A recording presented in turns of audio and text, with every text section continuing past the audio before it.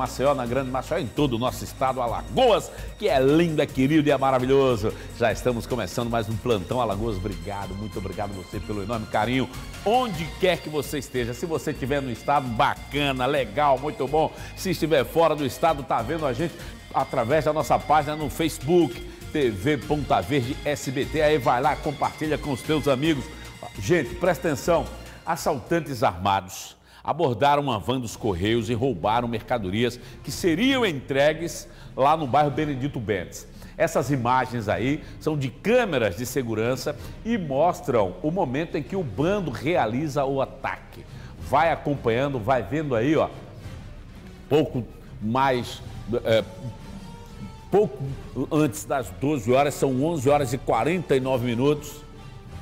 Você vai vendo aí o ataque, ó, ó lá a abordagem eles se dividem e fazem a abordagem. Daqui a pouquinho você vai ver como foi essa história completa com todos os detalhes deste caso. Você vai acompanhar aqui na tela do nosso Plantão Alagoas.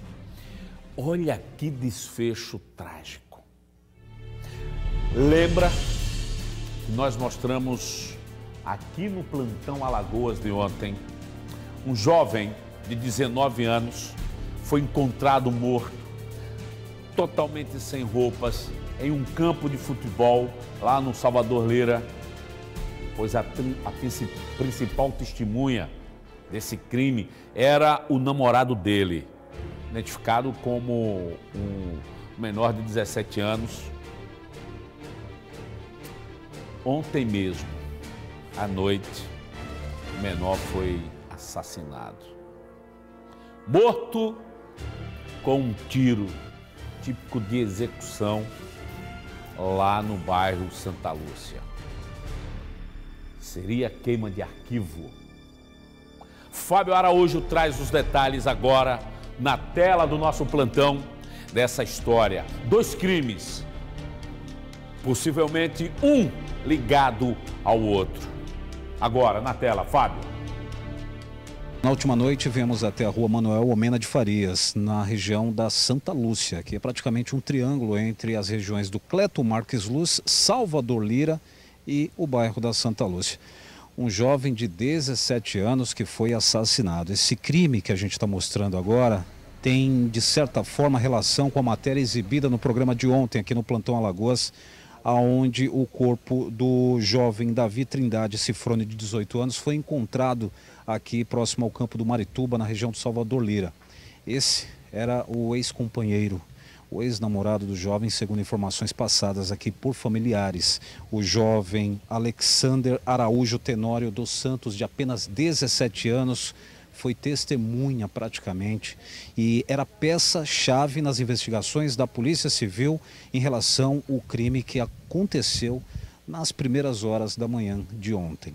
O que, que a gente vai mostrar para vocês? O pessoal da perícia está fazendo os levantamentos, polícia militar aqui no local, inclusive o capitão Limeira e sua equipe, a primeira guarnição a chegar e fazer também os levantamentos na região. Capitão, lamentavelmente a gente está vendo aí um jovem de 17 anos, que inclusive não só a equipe da Polícia Civil que esteve no local do primeiro assassinato, mas também os senhores é, é, foram na área para poder fazer o isolamento e os primeiros levantamentos. Sim, a gente chegamos aqui no local através do, do um chamado pelo Copom e a gente constatou que se, se tratava da, da testemunha na qual que foi, que presenciou, não, porque, não presenciou que estava no local de crime, do, do assassinato do amigo dele, né? E a gente tomamos surpresa, é, se tratava da pessoa dele. Quer dizer, na verdade foi uma surpresa para todo mundo, né? Para os familiares, para a Polícia Civil, que já começou a fazer as investigações, para os senhores que no início de turno também pegou aquela situação, para o pessoal que está em casa agora, para se situar ele é, seria a pessoa que estaria supostamente embriagada e negou um programa sexual com é, ocupantes de uma motocicleta, não é isso? Aonde o ex-companheiro dele apareceu em óbito. Horas se passaram, ele aparece morto. Para os senhores, obviamente que isso é papel da Polícia Judiciária, mas para os senhores fica claro e evidente que seria uma queima de arquivo. Diga assim, É a tal situação, né? A gente vê pela situação das ocorrências, uma coisa leva a outra. Sem dúvida nenhuma, pode ser a queima de arquivo, pode ser uma outra situação que ele tenha, que ele tenha guardado no passado aí, que a gente não está sabendo. Só através de investigação, que a doutora está à frente aí, um inquérito policial, vai chamar a família, vai ser interrogada e vai saber realmente o que foi que levou, o que foi que levou a, a, os assassinos a vitimar a pessoa do, do, do, do Alexandre. Alexander, de 17 anos. Eu vi que o senhor conversou com um jovem, estava é, bastante abalado, ele também se recusou ou resistiu um bom tempo a passar informações, mas o pouco que ele passou, o que, que o senhor pode adiantar para a gente? Não, irmão dele, né? Você sabe que qualquer parente vê uma, um, uma pessoa da, da, família dele numa situação dessa, fica o quê? Fica, com, né? fica abalado, fica, né? E fica revoltado, né? E principalmente com a pessoa aí de ser vítima de, de, de, de homicídio. Ele falou que não vivia com o irmão, mas tinha aquela aproximação, conhecia. E não sabe o porquê o irmão foi assassinado. Não sabe dizer assim o motivo que levou o assassinato. Os, os elementos chegaram a ter a vida, ceifar a vida do irmão dele. Ele confirmou que, ele chegou a confirmar que de fato ele era ex-namorado, ex-companheiro do jovem que foi assassinado na, na, nas primeiras horas do dia? Sim, ele confirmou, sim, assim, se tratava assim. O rapaz que foi encontrado hoje de manhã é, tinha uma, uma, relação com ele e chegou a esse ponto de ser vítima. Tá ok? Ok, capitão Limeira, muito obrigado pelas informações. A gente tentou conversar com a delegada Talita, que está à frente do caso, inclusive esteve no local aonde foi encontrado o corpo do Davi Trindade Cifrônio.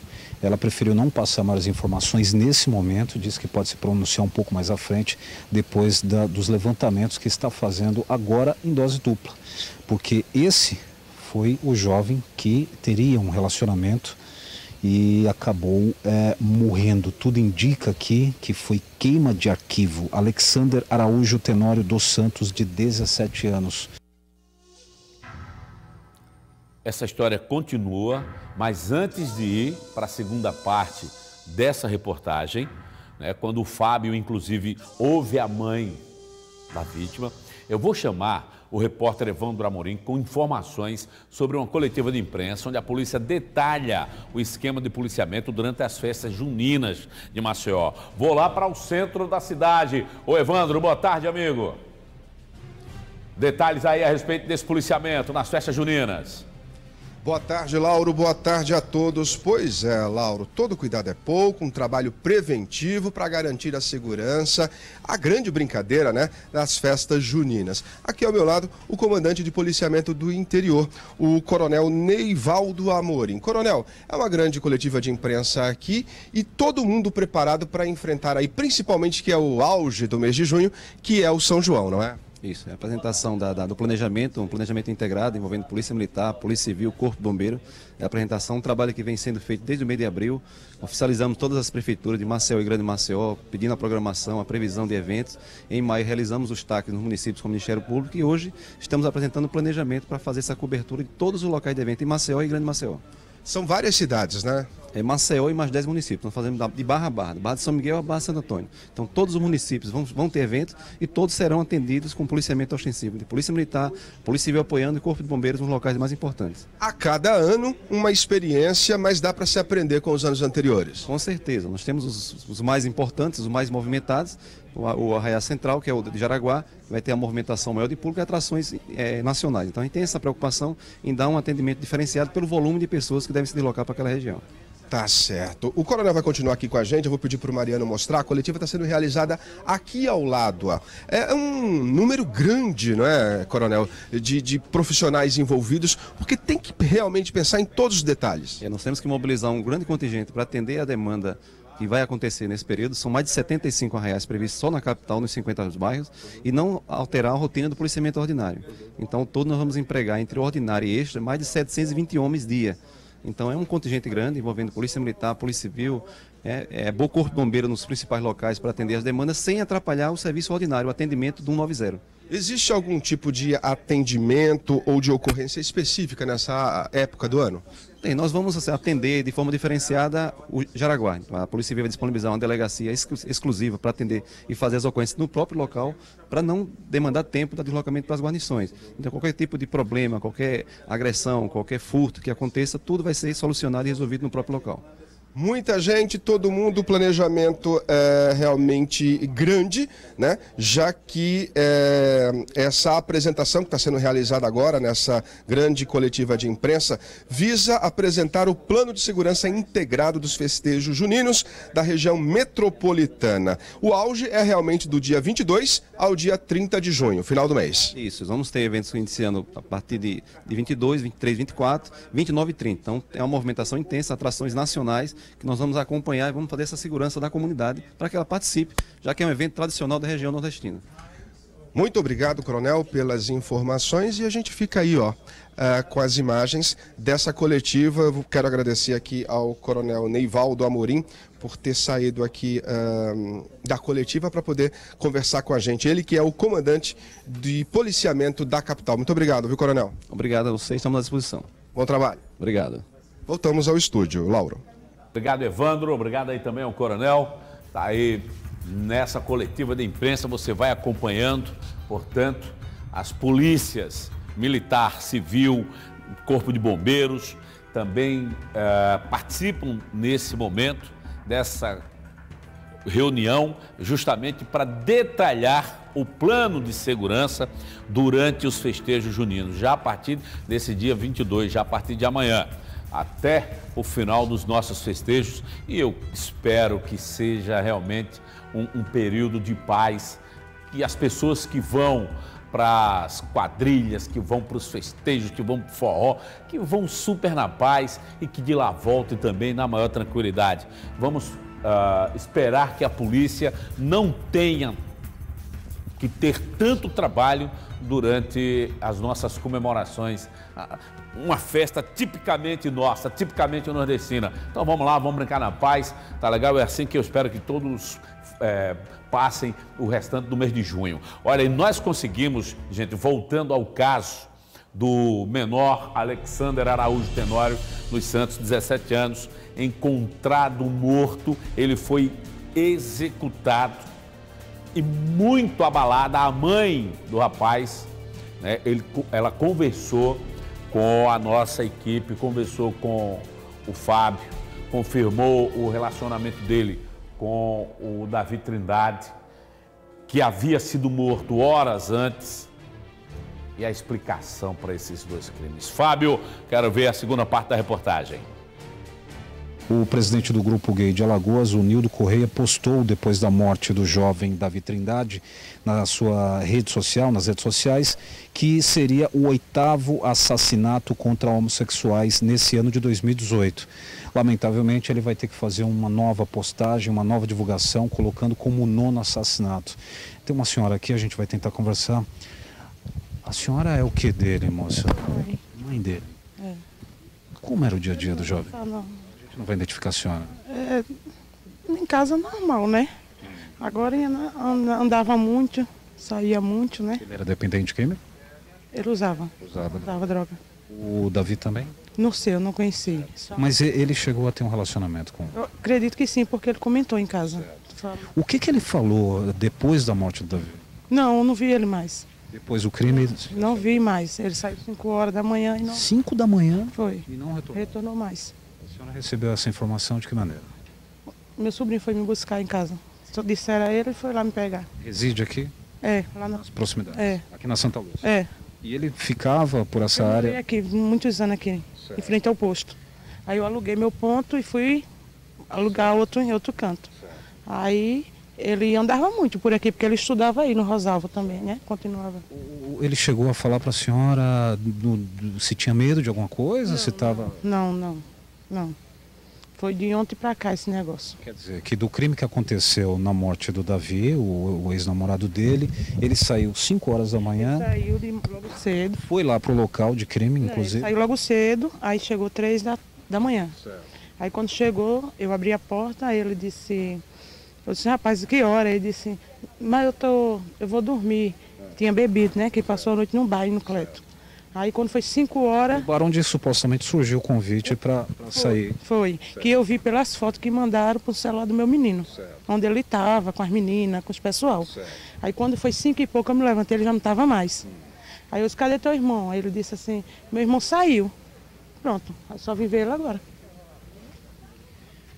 Uma dor muito forte, eu imagino. A senhora boa sorte, né? A, a, polícia, a senhora já conversou com a delegada titular aqui da, da situação, né? Deve ser intimada também para passar mais informações. Enfim, é, é, um momento muito delicado. Qual é o nome da senhora? Miriam. Dona Miriam, boa sorte para a senhora. Realmente é difícil diante do corpo aí do filho de apenas é, 17 anos, o Alexander Araújo Tenório dos Santos, que passou praticamente 15 horas fora de casa, saiu nas primeiras horas da manhã, aonde esteve com o pessoal da polícia depois que soube da morte do ex-companheiro, esteve lá no local, aqui mesmo na região, e depois aparece dessa maneira. Queima de arquivo, será que de fato tentaram atrapalhar o trabalho da Polícia Civil? Talvez tentaram, mas agora os trabalhos vão seguir em frente com uma pressão maior para poder chegar até essas pessoas.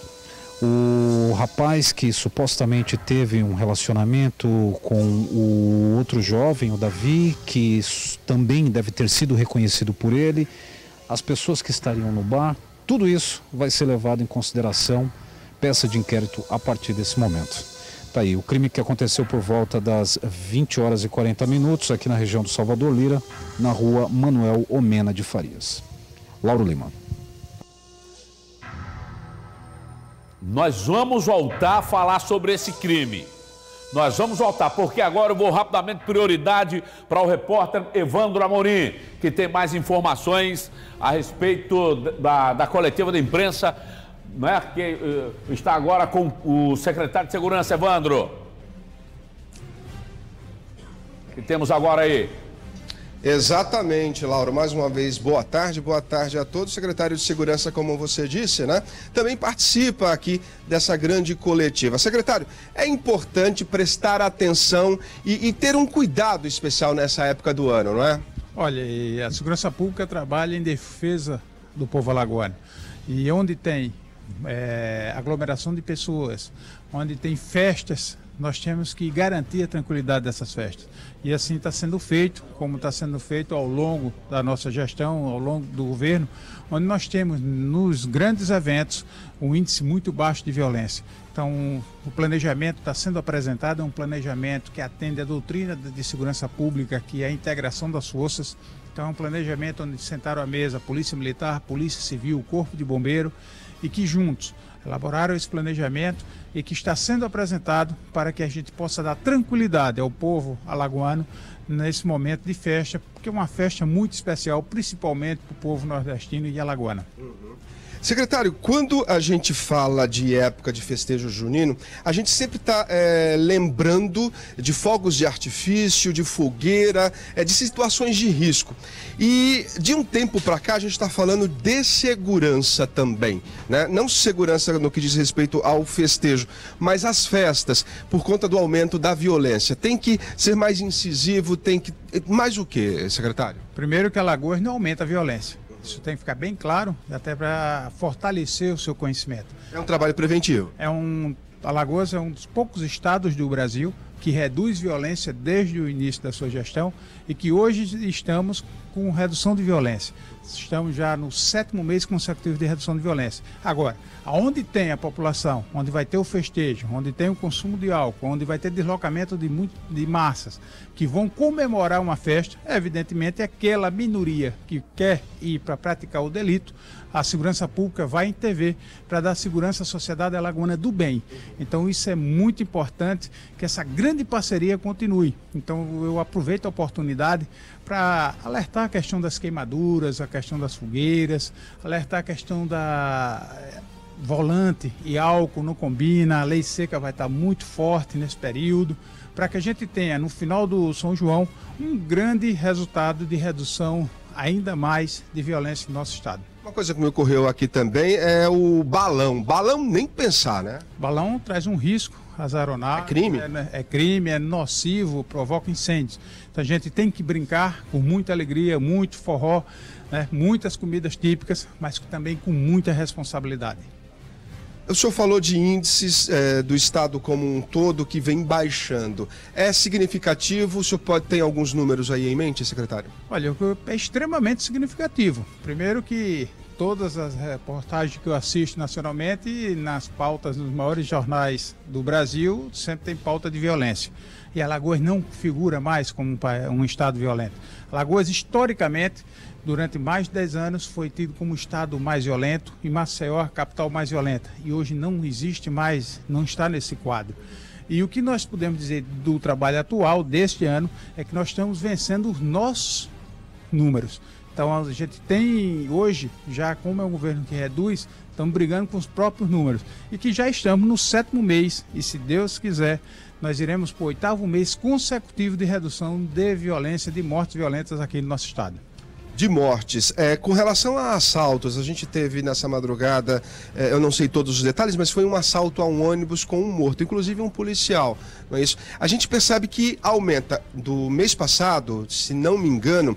Uh, houve uma redução no mês de maio, mas já em junho, a gente fez uma cobertura aí à noite, foi um assalto atrás do outro, é, a ônibus aqui na capital. Na verdade, só uma correção, foi um policial ferido, não é isso? No assalto dessa madrugada. Aumentou em junho, maio diminuiu. Em junho, a gente imagina que a tendência é aumentar o número de assaltos. Do, de registros, né? O primeiro cenário geral que estamos já há mais de 18 meses com redução de assalto a coletivo, onde o ano passado caímos de 1.100 assaltos a coletiva para 500. Só para a sociedade ter uma noção, o que nós tivemos em um ano, capitais vizinhas nossas tiveram no mês. Então, o trabalho de combate ao coletivo é um trabalho que é prioritário para a segurança pública, porque atinge quem mais precisa do Estado, atinge os trabalhadores que ali é, ganham o, o seu pão, que dependem desse trabalho. Mas, no caso específico de ontem, foi um assalto a um ônibus intermunicipal, onde tinham policiais dentro do ônibus fazendo seu deslocamento. E que um policial civil foi identificado e que foi. É, sofreu o atentado por ter sido identificado. E o outro policial civil reagiu, é, baleou um meliante, o outro foi preso e o que foi baleado morreu no confronto. Bom, trabalhando para poder garantir a segurança é, de todo o estado do cidadão, não é, secretário? Muito trabalho pela frente? Cada dia é um grande desafio. Você trabalhar é, para neutralizar a maldade da minoria, isso é uma, uma dinâmica constante mas com essa integração que nós temos das forças, com a grande parceria que nós temos com a Sociedade Alagoana do Bem, é, nós temos certeza que nós iremos fechar esse ano também com um grande resultado. Alagoas, eu volto a dizer, um dos poucos estados do Brasil que em três anos reduz violência em relação aos números anteriores. Que bacana, muito obrigado. Só um momento, por favor, que o Lauro tem uma pergunta. É isso, Lauro? Sim, Evandro, aproveitando a presença do secretário Lima Júnior, gostaria de saber a respeito desses dois crimes de ontem, desses rapazes que são homossexuais, uh, principalmente em relação ao segundo crime. Pergunta ao secretário, eu sei que é homicídios está no caso, que vem trabalhando, mas pergunta para ele, o Evandro, se esses crimes têm ligação um com o outro e se são considerados pela polícia crimes de homofobia ou se algo realmente deu errado ali naquela história e os rapazes foram assassinados. Isso que eu gostaria de saber, pergunta ao secretário, por favor. Lauro, uh, secretário, desculpe. Re... com relação aos dois crimes de ontem, um homossexual foi morto e, na sequência, uma pessoa, ao que parece, seria uma testemunha. Esses crimes estão relacionados e existe um crime específico homofóbico aí? Olha, eu não tenho como atestar, até porque é muito recente para dizer qual a linha de investigação. O que eu posso dizer é que eu já fui procurado pelo presidente da Associação é, dos Gays de, de, de, Alagoas. Nós já temos uma reunião agora à tarde, junto com o delegado de homicídio e com o diretor-geral da Polícia Civil, para tratar especificamente desse caso. Ok, esclarecido, portanto, a polícia vai investigar. Esclarecido não, né? A sua pergunta aí, no caso. A resposta, exatamente. É, a polícia tem muito o que investigar para poder saber o que aconteceu. Mas está trabalhando e atuando com rigor. Com certeza. Nós temos também em Alagoas um dos maiores índices de resolução de inquérito de homicídio. E a, a imprensa, a sociedade é testemunha que nós apresentamos aqui coletivas com lotes de homicidas presos. E o crime de homicídio é um dos crimes mais difíceis de fazer uma prisão num período curto de tempo, por causa do planejamento prévio que é realizado para a prática do crime. Então, mas um grande trabalho do doutor Paulo Cerqueira à frente da Polícia Civil, o doutor Eduardo Nero à frente da coordenação do homicídio, todos os agentes, todos os delegados têm dado a resposta muito satisfatória é, no tocante à resolução desse inquérito. E não ficará impune. Vai ser identificado, vai ser preso e vai ser apresentado à justiça. Para a gente finalizar, secretário, uma sensação que eu tenho, eu que estou chegando aqui a Alagoas há pouco tempo, assim, existe o homicídio? Sim. Existe o crime, existe o assalto? Sim. Mas isso nem se compara com a Alagoas de quanto tempo atrás? Olha, se você pegar os números da estatística de oito anos atrás até o início do governo, a gente tem uma média de 2.200 homicídios por mês. Chegamos a ter meses aqui de ter 2.400 homicídios. E hoje nós estamos com a média de 1.800 por, por mês, não, por ano, corrigindo, por ano. E estamos trabalhando firme para que esse ano a gente consiga derrubar a barreira dos 1.800. Muito obrigado, secretário, pela entrevista. Sucesso. Obrigado, amigo. Eu que agradeço. Muito obrigado. É isso aí, Lauro. Voltamos aí ao Não, estúdio Evandro, com você. Evandro, segura ele aí. Ó, vê só. Agora uma curiosidade minha. Eu eu fiquei sabendo, pergunta ao, ao secretário. É curiosidade. Isso, se é verdade. Uma abelhinha veio até mim, sussurrou é. no meu ouvido que poderá haver mudanças na estrutura de comando da Polícia Opa. Civil. Ah, pergunta para ele se vai ter mudanças na DEIC e na Regional de Arapiraca. Se a mudanças resposta à vista? sim, isso, se for sim. Mudanças à vista.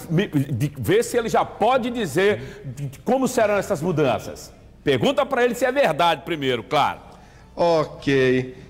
Parece que mudanças aí é, na DEIC de Arapiraca, o senhor já está sabendo de alguma coisa. Tem uma abelhinha que gritou lá no ouvido do Lauro. Tem alguma mudança é, significativa na região de Arapiraca? Não, não é mudanças à vista, é realidade. Ah, é? Já houve a mudança, do doutor Fábio assume a DEIC, doutor Mário Jorge volta para a região de Arapiraca e por, uma motivação, por um motivo de motivar ainda mais os novos desafios.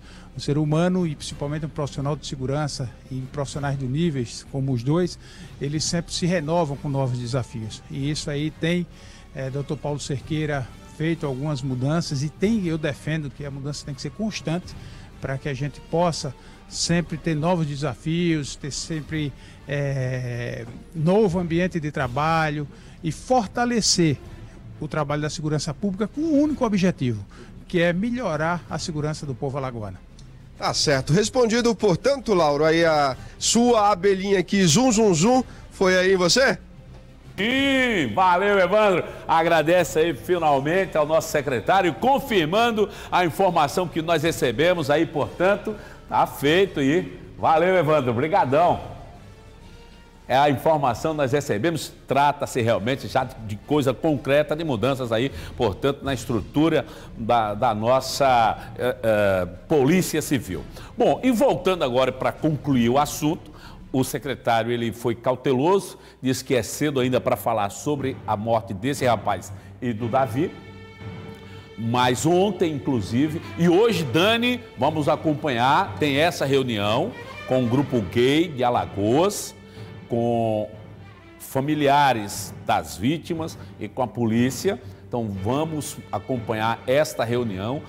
Ontem eu até, de certa forma, me, me emocionei quando comentei a morte do primeiro rapaz, o namorado dele. falando que se fosse um crime de intolerância, se fosse homofobia, que os, os, bandidos tinham realmente que ser presos. Começo agora, a partir da morte desse rapaz, a imaginar de forma diferente. Pode não ter sido crime por conta da sexualidade. Alguma coisa pode ter dado errado no primeiro programa. Os caras mataram o Davi. Como ele sabia, tinha conhecimento que eles tinham saído, os três, daí eles disseram: vamos apagar o cara, que ele pode dar com a língua nos dentes. Poderia.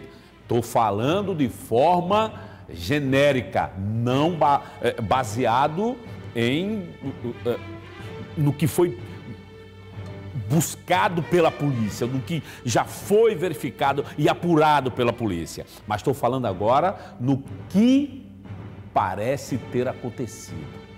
Então, não, na minha modesta opinião, desse matuto velho lá da Santana do Ipanema, ali do bairro da Camuxinga, para que eu mando um beijo grande, não me parece ter sido crime por homofobia. O primeiro crime pode alguma coisa no programa pode ter dado errado quando esse rapaz aqui, o Davi, foi assassinado. O garoto, o namorado dele, é quem originalmente iria para esse encontro, mas ele não quis, eles bebiam juntos. Tava todo mundo ali tomando uma, uma festinha, uma bebedeira. O, o menino falou: Eu não vou não. Alexandre, não, eu não vou não. Já bebi, bababau. Os caras, então, que tinham chamado esse daí, foram com o namorado dele. O namorado dele foi morto. Pouco tempo depois, poucas horas depois, o menino foi assassinado. Apenas 17 anos de idade. Um crime realmente pode estar ligado ao outro. E aí, amigo velho, a polícia, inclusive, a essa altura do campeonato, não estou é, afirmando, mas a essa altura do campeonato, a polícia já deve ter nomes. E breve a gente vai estar aqui falando sobre isso mostrando esses assassinos ou esses suspeitos. Cabeça, quero saber como é que anda a minha turma lá na página no Facebook. Você costuma ver o nosso programa através da página no Facebook? Então você faz, é só chamadinha, né, Dani? Então deixa eu meter sebo nas canelas pro lado de cá. Ó, oh, já já eu vou conversar com você. Compartilha aí, deixa o seu recado, deixa sua reclamação. TV Ponta Verde SBT e compartilha com os teus amigos. Onde quer que você esteja e os seus amigos também, vai ficar todo mundo de plantão, de plantão Alagoas. Então daqui a pouquinho eu vou conversar com você na minha página do Facebook, tá bom? Olha, a Polícia Militar prendeu em flagrante três jovens com drogas, diversos comprovantes de depósito bancário. Isso foi lá no Bendito Bentes, Magia. Olha que história, cara. Você vai daqui a pouco acompanhar, mas é, eu quero só um pedacinho da, conversa aí para você entender um pouco da, da história. Vamos ver. E olha só a organização. Comprovantes de depósitos, guias de depósitos, no qual a polícia começa a levantar que esse tipo de depósito corresponde ao pagamento do entorpecente. A gente vai contar rapidamente aqui, por alto, Olha só, comprovante de 300 reais, 550 reais, vai, vai somando você que está em casa, 120 reais, tem outro de 100, temos aqui 400 reais. Pois é, daqui a pouquinho essa história é completa na tela do nosso plantão, viu? Um assalto ao ônibus interestadual terminou em tiroteio e morte. Foi lá na cidade de São Miguel dos Campos. Um policial civil foi baleado durante o confronto com, um, com os assaltantes. Inclusive, um dos ladrões morreu. Vai comer capim pela raiz. Fábio Araújo na tela do plantão. Conta a história pra gente. Olha, Laura, no final da noite da última quarta-feira, nossa equipe veio até o maior hospital público de Alagoas, o Hospital Geral do Estado. Deu entrada aqui um agente da Polícia Civil baleado em um confronto que aconteceu em um ônibus da empresa Rio Alagoas que seguia com destino a São Miguel dos Campos. O policial identificado como Jailson Gomes das Neves estava em diligência indo para uma determinada cidade do interior quando revidou um assalto que aconteceu por duas pessoas que embarcaram em Maceió, sentido também ao interior e ali na descida da rodovia, logo na entrada da cidade, anunciando o assalto, infelizmente aconteceu esse revide. O, um dos criminosos morreu nesse confronto, entrando em óbito lá mesmo no local, e um outro jovem conseguiu é, foi preso pela polícia e está na sexta regional de São Miguel dos Campos. Eu cheguei a ligar para o delegado de plantão na sexta regional, o doutor João Marcelo, que estava em plena diligência e estava fazendo todos os levantamentos, então não tinha nesse momento maiores informações, mas disse que de fato, além do policial civil da Delegacia de Homicídios aqui em Maceió, tinha um escrivão da Polícia Civil que não foi atingido a não ser o Jailson Gomes das Neves, que recebeu um disparo no rosto, passou por uma tomografia e também tão logo entrou num procedimento cirúrgico aqui no Hospital Geral do Estado. Um dos policiais civis chegou a reconhecer a foto do jovem que foi preso, que também participou do assalto, e disse: Este criminoso entrou em uma determinada delegacia aqui na capital na semana passada e foi liberado na audiência de custódia da justiça. Ou seja, um jovem que praticou um assalto, foi preso, foi liberado pela justiça e se envolve mais uma vez em um assalto em um ônibus da empresa Rio Alagoas em plena rodovia federal aqui no estado de Alagoas, onde infelizmente o policial civil acabou sendo atingido. Nessas imagens que vocês observam, essa primeira pessoa, esse rapaz, esse jovem sem camisa, é um dos passageiros do ônibus que acabou sendo atingido. Não se sabe de onde partiu esse tiro, mas ele estava no ônibus e recebeu um tiro no peito. Ele está é, também passando por um procedimento cirúrgico aqui, entrando de madrugada dentro no Hospital Geral do Estado. Já a segunda imagem que vocês notam, esse sim é o Jailson Gomes das Neves. Há uma aglomeração muito grande de policiais civis, inclusive familiares, que ainda não tem detalhes do que de fato aconteceu. Conforme eu disse, eu liguei para o, o, delegado João Marcelo, que está fazendo todos os levantamentos e maiores informações ao decorrer aqui do plantão Alagoas. Lauro Lima. Olha, daqui a pouquinho a gente volta com. Obrigado, o Fábio. A gente volta com informações a respeito do estado de saúde dos demais baleados nesse confronto aí, o policial civil, os passageiros, o bandido morreu, tomou chumbo e merecidamente. Não desejo mal a ninguém, manda até os sentimentos para a família dele. Mas entre ele, o policial e as pessoas de bem, que vá o bandido. Ó, daqui a pouquinho, hein? Assaltantes armados abordaram uma van dos Correios e roubaram a mercadoria que seria entregue lá no meu querido Bio, lá no Benedito Bentes, amigo. Você vai vendo aí que o relógio marca 11 horas 49 minutos. A van vai passando pela rua, os bandidos se dividem, se dividem e fazem a abordagem da van. Fazem a abordagem da van. E você vai acompanhando aí Veja só a forma como eles avançam sobre o carro, sobre a viatura dos Correios, sai lá no Benedito Bentes, tudo que seria entregue aí, o, o, material que seria entregue, Deus de misericórdia, os caras não se contentam, vão correndo, vão correndo. Vejam, foi, isso aí foi no dia 19, antes de ontem, perto do meio-dia, 11 horas e 49 minutos, o relógio vai marcando. Incrível como eles fizeram o cerco, viu? Como eles fizeram o cerco lá na, na van. E aí procederam ao assalto. Vejam que eles se dividem, se dividem e fazem o assalto. Vejam como eles se dividem e abordam a van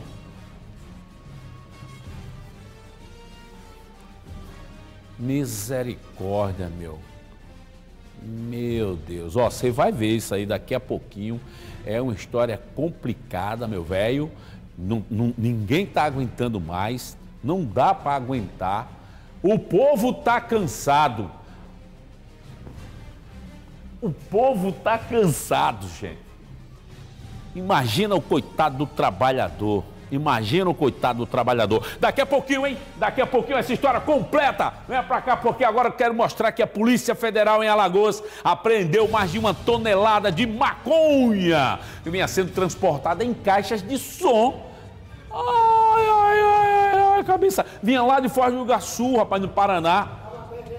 Vinha, é, a maconha dançarina. E vinha pra cá, meu filho, pra Maceió. As caixas de som foram retiradas na delegacia da Receita Federal. Aí foram retidas, melhor dizendo, onde surgiu a suspeita de tráfico.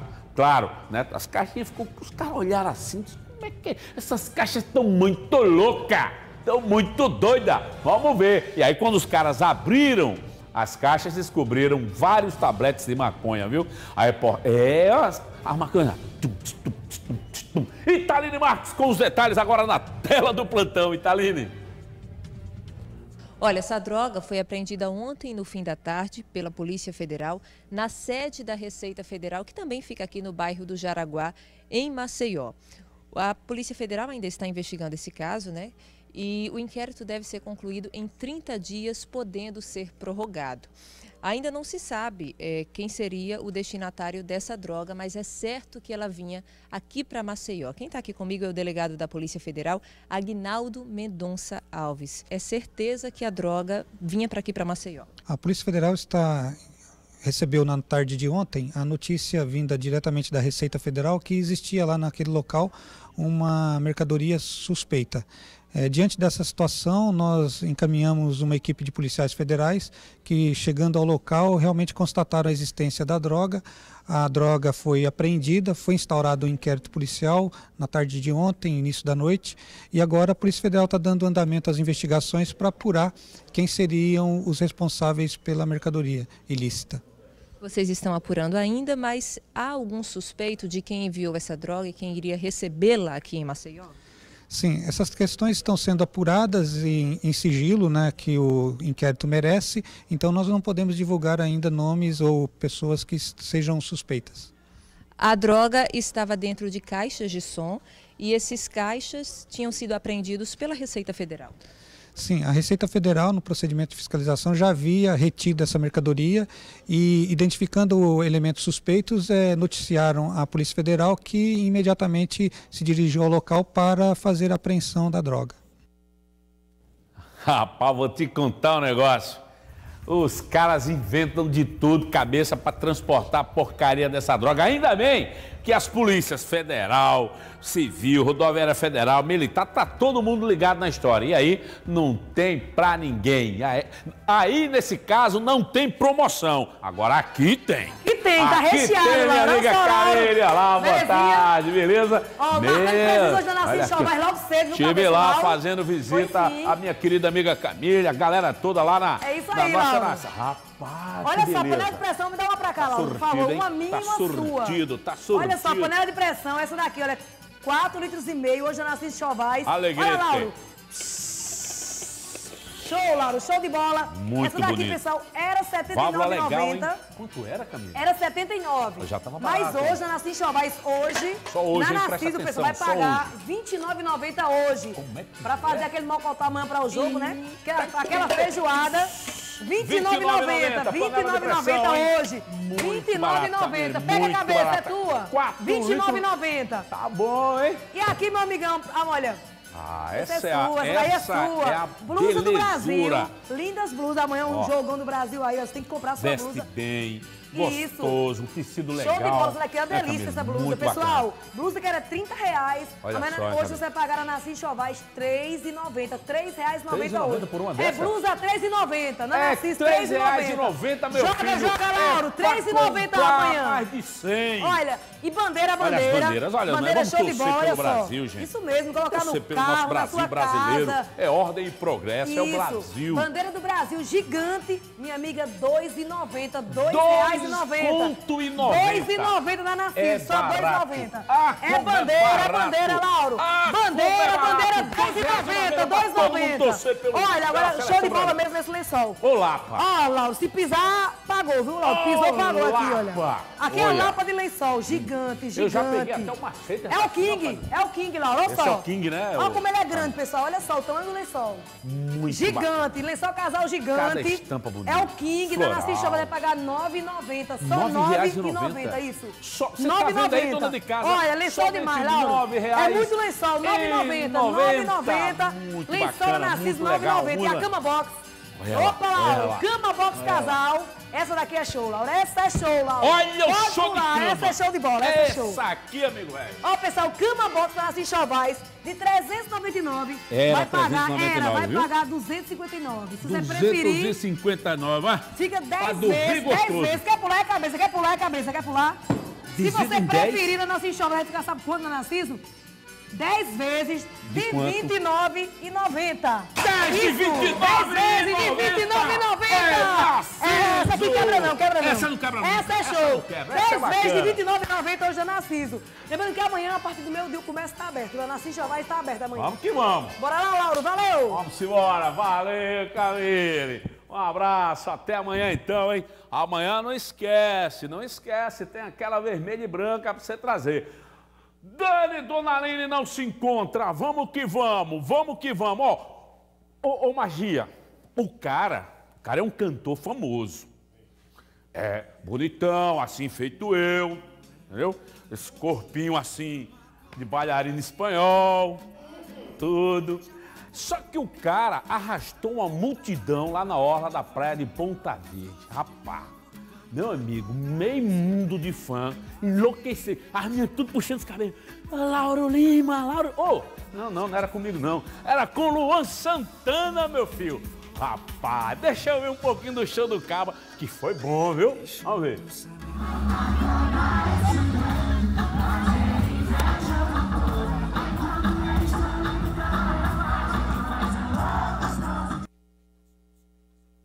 Corre desse prédio, dezenas de prédios lá na, na praia e você vai ver já já como é que foi o show do cara. Veio aqui para gravar um projeto especial. Foi muito bacana. Ele convidou a galera pela rede social dele, lá no Insta dele. Ó, galera, tô lá, eu, meu amigo Laurão, vamos que vamos. As meninas foram, todas elas. Já já a gente mostra. Olha, a polícia militar prendeu em flagrante três jovens. Os caras tinham droga, diversos comprovantes de depósito bancário. Isso foi lá no Benedito Bentes. E na abordagem, os três disseram assim: Não, não, eu não conheço ele não. E você conhece aquele? Não, não conheço não. Meu filho, mas vocês estão dentro do carro, vocês três, você... Não, não. E você, motorista? Não, eu tô aqui fazendo uma corrida, eu sou de aplicativo. Aí os caras do quinto batalhão, batalhão olharam assim. Ó, vamos ver aqui o celular de vocês aqui. Aqui umas conversinhas suspeitas e tal. Os caras, é o seguinte, vamos lá para a autoridade policial e vocês se explicam por lá. Fábio Araújo, me dá essa história agora na tela do plantão. Muito bem, Lauro. Estamos em um local que você e que toda a sociedade conhece, Central de Flagrantes no bairro do Farol. Isso aqui é um ponto onde a Polícia Militar conduz várias pessoas envolvidas em crimes aqui na capital. Na história de hoje, o tráfico de drogas. O tráfico de drogas que muitas vezes tenta burlar a segurança pública aqui do estado, mas o pessoal já está preparado e consegue em abordagens fazer esse tipo de apreensão. Força Tática do 5 Batalhão atuando na área do Benedito Bentes, lógico.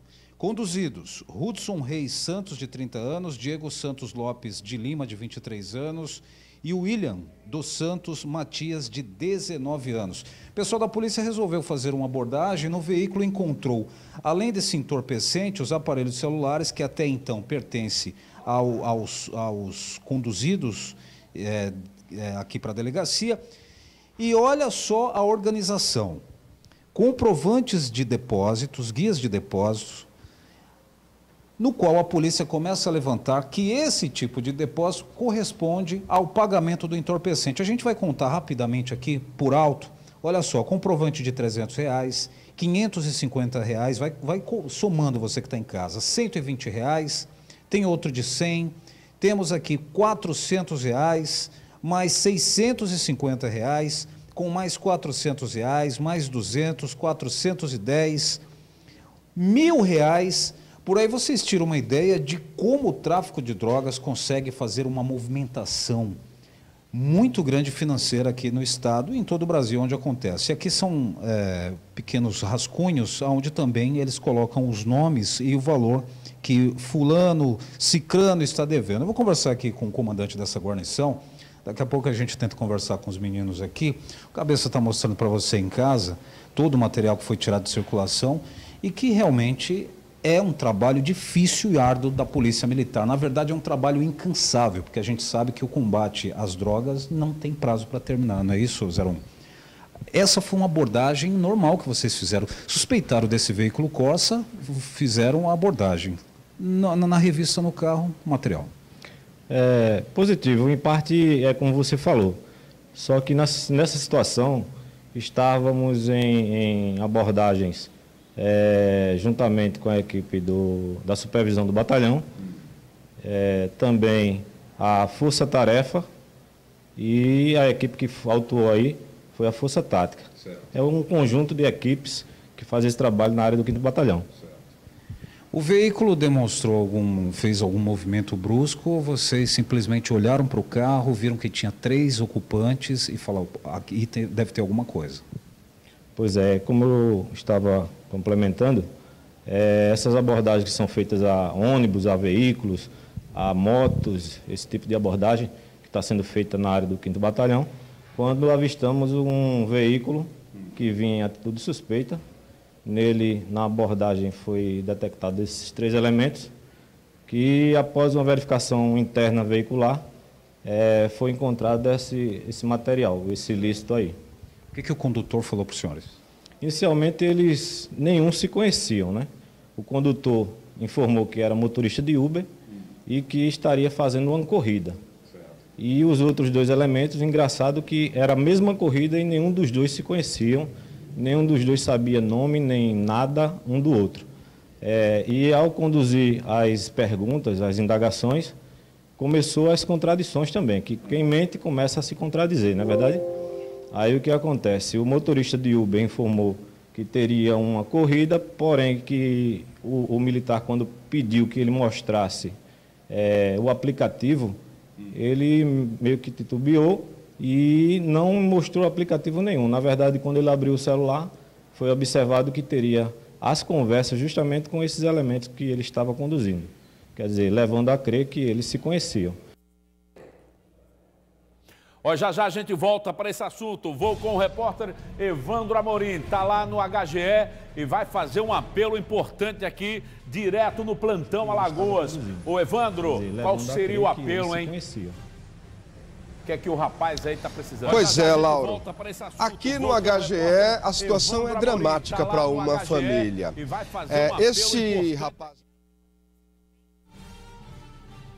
Ó, oh, a gente volta já já lá, a gente está com um probleminha técnico, a gente volta já já com o Evandro, tá? Enquanto isso, deixa eu falar o seguinte, de acordo com a polícia, aquela droga, que aqui os três, vocês viram que três pessoas foram presas dentro de um carro, os três estavam dentro do mesmo carro, tá?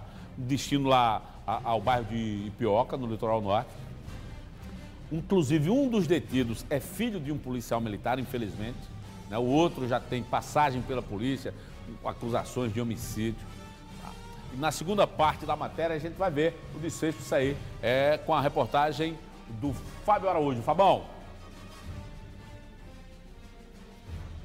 Bom, aqui está claro e evidente que trata-se de tráfico de drogas e pesado, né? A gente observa, inclusive, nessa anotação aí, nesse caderninho, tem vários nomes aí, isso deve ajudar bastante a Polícia Civil a chegar na, na, nessas pessoas, tanto os compradores, quem sabe os fornecedores.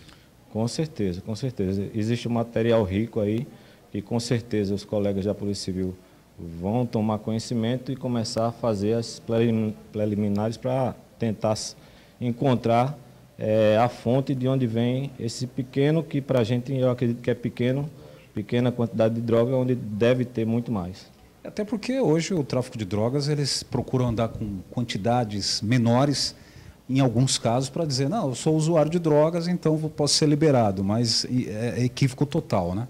Um trabalho minucioso dos senhores detecta na hora quando é tráfico e quando não é. Positivo, apesar da, do esforço enorme deles aí tentar enganar e, e dar informações é, negativas para a polícia, inclusive citando que nada conhece, nada sabe sobre o tráfico, mas eu acredito que esse tablete não caiu do céu dentro do carro dele, né? Com certeza. Mas isso vai ser investigado pela Polícia Civil e é o trabalho deles eles vão fazer com muita competência. Parabéns aqui ao pessoal da Força Tática do 5 Batalhão, Polícia Militar de uma maneira geral, que estão apertando o cerco, estão incomodando, na verdade, os traficantes na área do Benedito Bentes. Agora o que chama atenção, óbvio, é a questão de estar em um carro, supostamente de um aplicativo, não tem um aplicativo, não foi encontrado no aparelho celular, dois ocupantes indo para o mesmo local e essas pessoas não se conhecem. Isso só se for em um ônibus, né, que as pessoas não se conheçam, mas um aplicativo em um carro, isso realmente não corresponde. Bom, o Hudson é esse aqui, daqui a pouco vai ser ouvido. Você quer falar alguma coisa, Hudson? Você faz, você é motorista de aplicativo, de fato? Parece que tem um aqui que é filho de um, alguém, né, da polícia militar, né? Já tem, parece que um de quem seria aqui?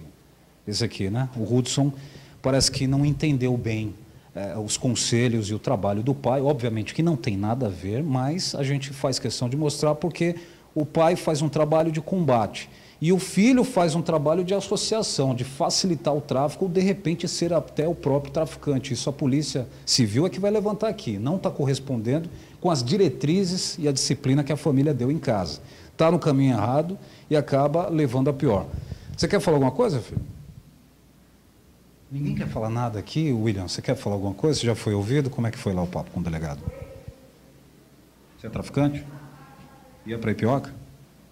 Ia entregar para quem a droga? Não querem falar nada, né? Mas esse aqui parece que já rodou antes. Tem uma acusação de, de quando menor, de homicídio. Homicídio. Por isso que não quer falar nada, não quer mostrar o rosto, porque aí, de repente, alguém pode reconhecer de alguma coisa, né? Está aqui, ó. Trabalho do pessoal da Força Tática do 5 Batalhão. Como resultado, entorpecente tirado de circulação, que segundo eles iria para Ipioca, não é isso? Sairia do Benedito Bentes para Ipioca.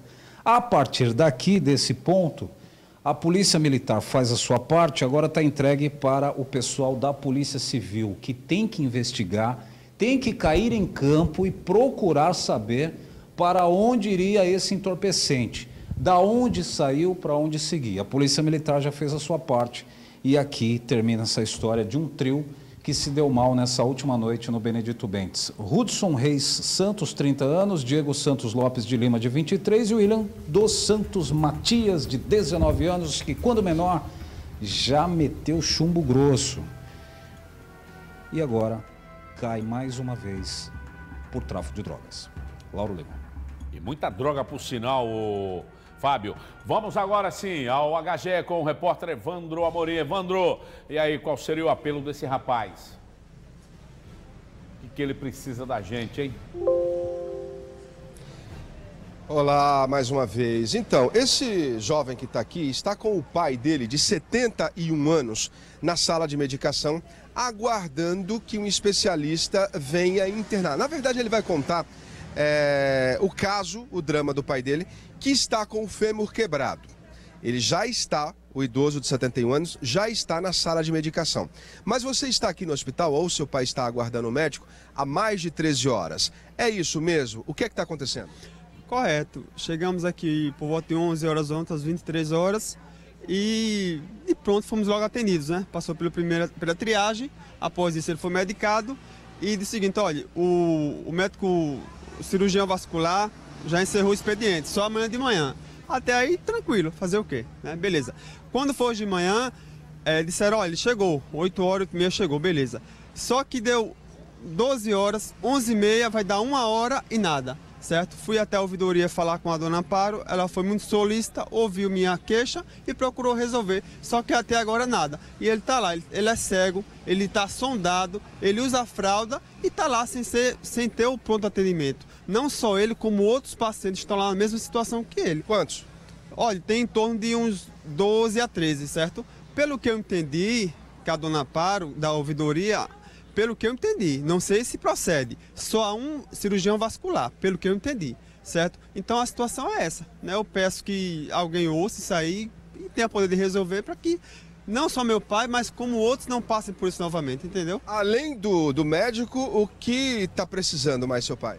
Só precisa de uma avaliação, só dizer se ele vai ser interno, se vai ser medicado, somente isso. Entendeu? Mas ele já está dentro do hospital, ele está recebendo alimentação, fralda e tudo mais? Não, não recebendo nada. Eles só colocaram, ele foi medicado ontem, fizeram o exame de sangue, né? O clínico atendeu eles, olha, até onde eu posso, já fiz, o clínico, né? O clínico já atendeu e passou para o cirurgião vascular, que até agora nada. Né? Mas quando estávamos aqui, já chegou dois funcionários do HGE querendo saber o que se tratava para procurar resolver. Só após a imprensa, o sistema opinião, chegar aqui, né? Que eu quero ressaltar que é uma das poucas mídias aqui em Alagoas que dá voz e vez ao cidadão. Bom, a gente espera, boa sorte aí para você e para o pai, né, Lauro, que essa situação seja resolvida, porque, como ele disse, não é só o pai dele que está aguardando.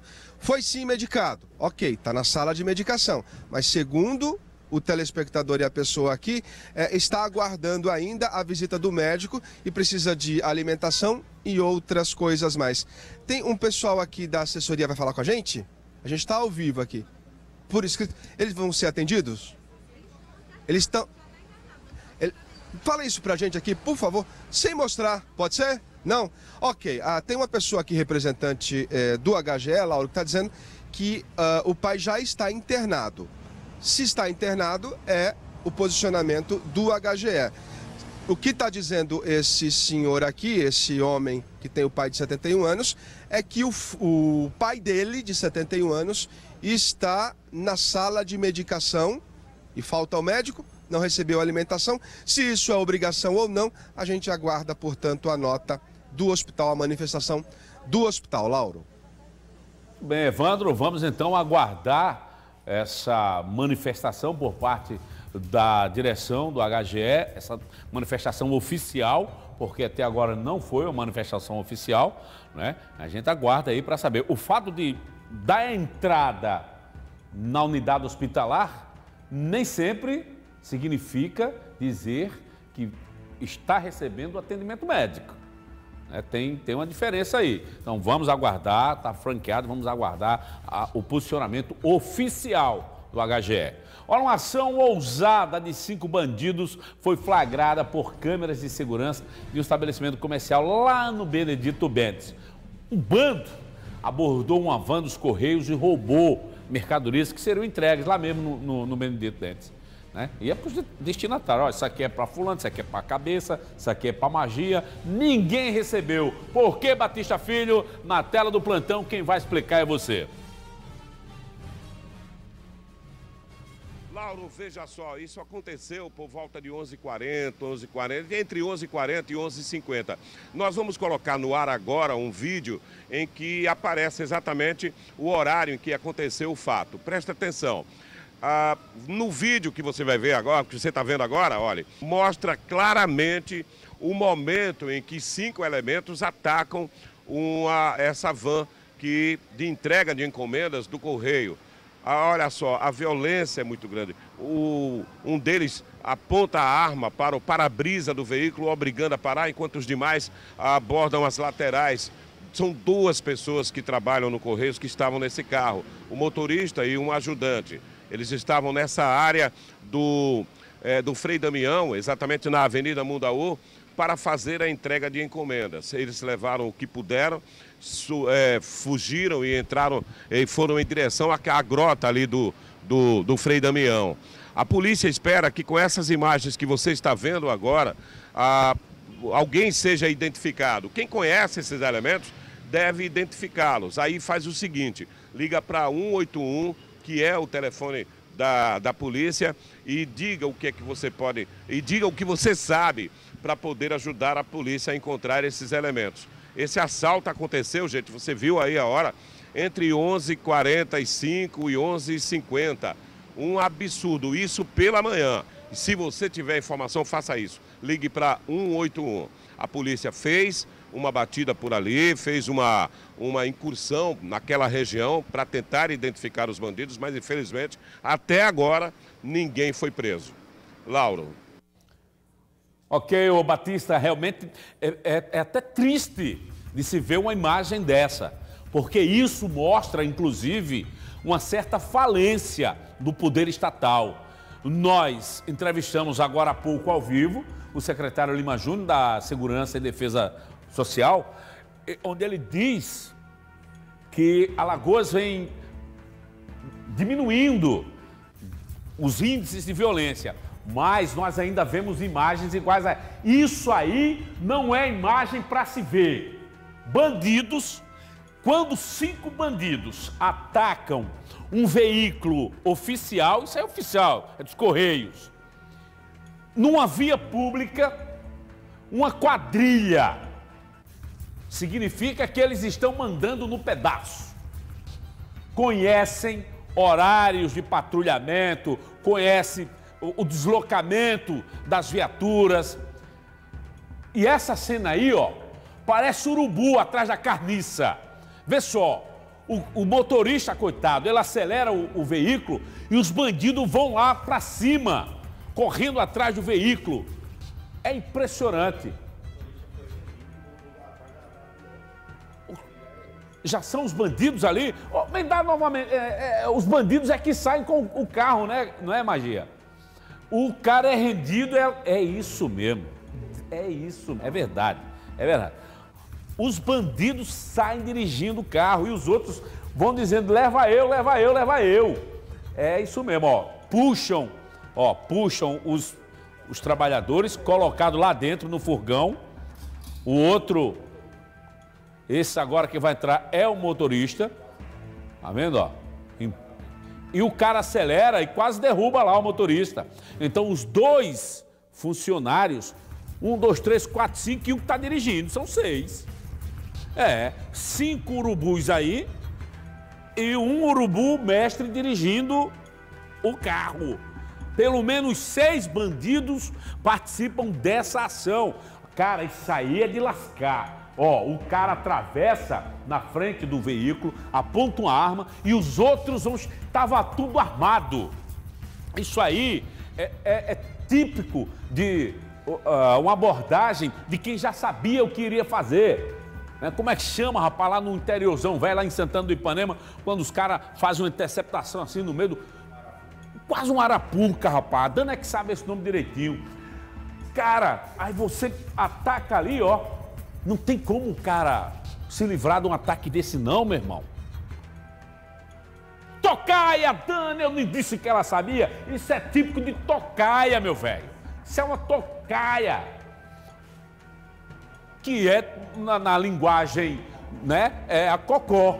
Na linguagem dos malandros, eles chamam de cocó, mas lá em nós é tocaia. Antigamente os caras faziam tocaia desse, o bando de lampião fazia esse tipo de tocaia.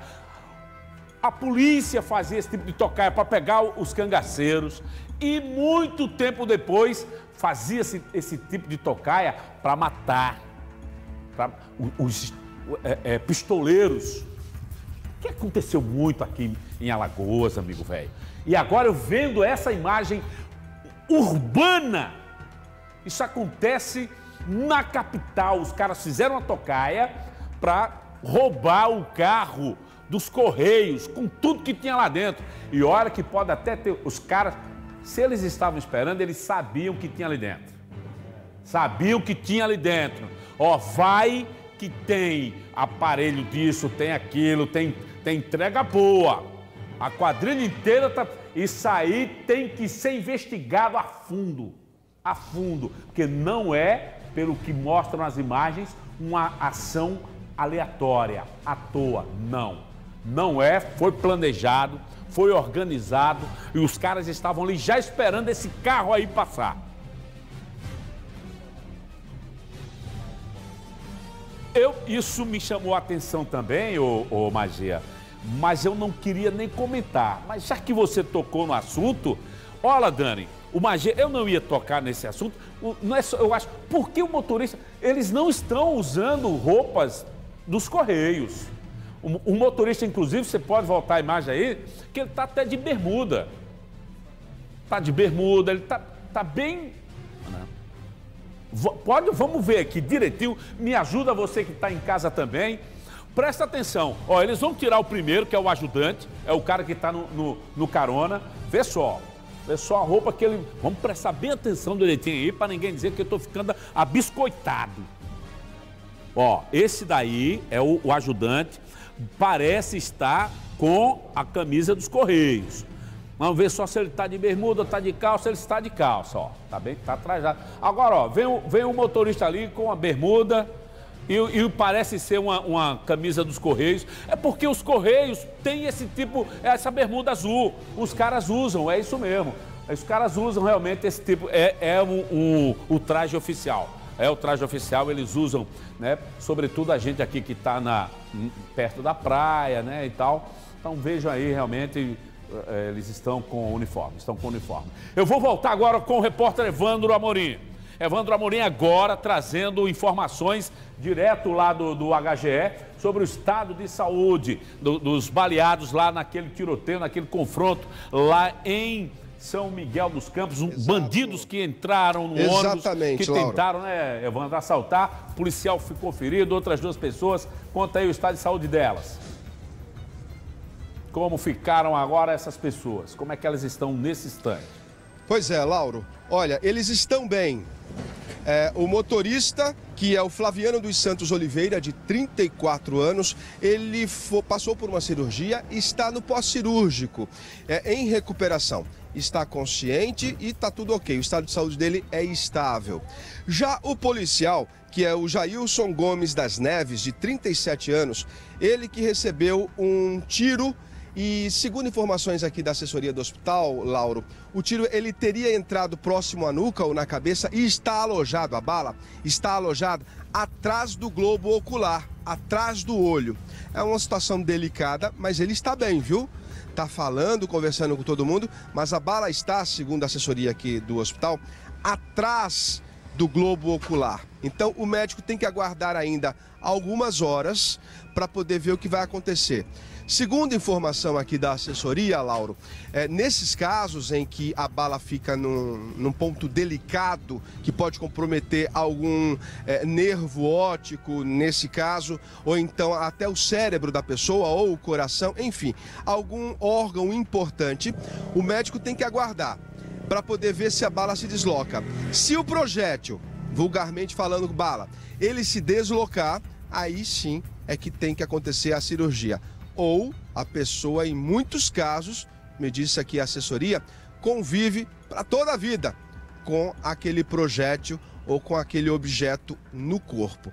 Esse policial, portanto, que foi vítima de um tiro, repito, próximo ao pescoço, cabeça, a bala está alojada atrás do globo ocular, atrás do olho.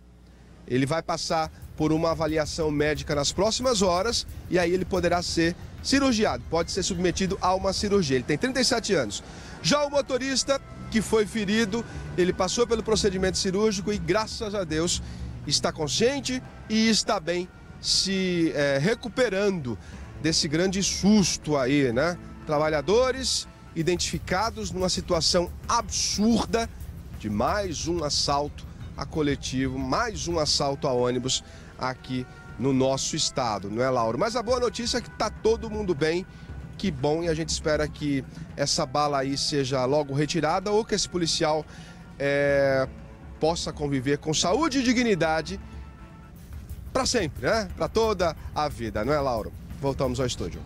É verdade, Evandro. Muito obrigado então pelas informações. Desejo pronta recuperação a todos envolvidos nesse tiroteio que foram baleados, principalmente o policial civil que enfrentou com coragem esses bandidos, viu? Então eu, eu desejo toda a recuperação para ele, que daqui a pouco ele volte a, a, fazer isso, a nos defender, a defender a sociedade desses bandidos, desses ladrões, desses balanços. Olha, uma família denuncia que uma criança de um ano morreu após passar por uma intervenção cirúrgica em um posto de saúde no bairro da Xanda Jaqueira. Em um minutinho eu vou contar essa história aqui para vocês, viu? Dá só um minuto, você vai ver a criança lá na Xanda Jaqueira, um aninho de vida, pode ter sido, segundo os familiares, negligência médica que provocou a morte dela. Já já, aqui no nosso plantão, porque agora presta bem atenção. Gente, ó, agora eu tenho uma dica para quem vive sempre correndo atrás de alguma coisa, viu? É hora de chegar na frente, de estudar na Unip. uma instituição de excelência, presente em diversas cidades do Brasil e é o lugar perfeito para você abrir as portas do mercado de trabalho. Sabe por quê? Porque na Unip você pode. E pagando a partir de 169 reais por mês, você aprende com os melhores professores e conta com uma infraestrutura completa. Ah, se empolgou, né? E tem mais, o vestibular é grátis e você paga apenas 50 reais pela matrícula. Então ligue agora, 0800 725 0045 ou acesse aqui e comece já a mudar de vida na Unip, porque na Unip você pode. Ontem nós mostramos o caso do bebê que morreu por causa da demora no atendimento à mãe gestante lá de Teotônio Vilela. A história que vocês vão acompanhar agora aconteceu em Maceió. Uma família de uma criança de um ano, né? A família denuncia que uma criança de um ano de idade morreu após passar por uma intervenção cirúrgica em um posto de saúde no bairro da Chã da Jaqueira.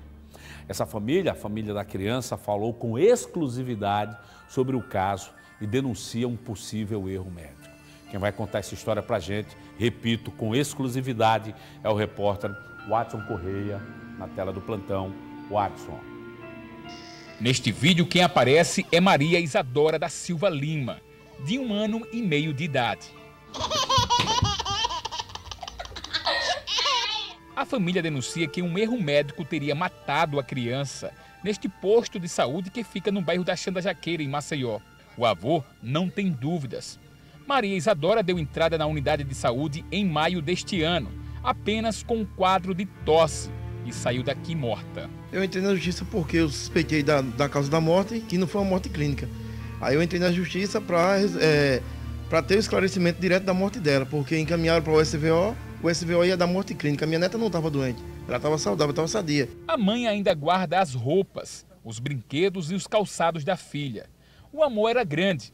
Agora cobra esclarecimentos sobre a morte. Eu fiquei lá angustiada, chorando, e foi quando eu vi o grito dela e de lá para cá eles não me disseram mais nada.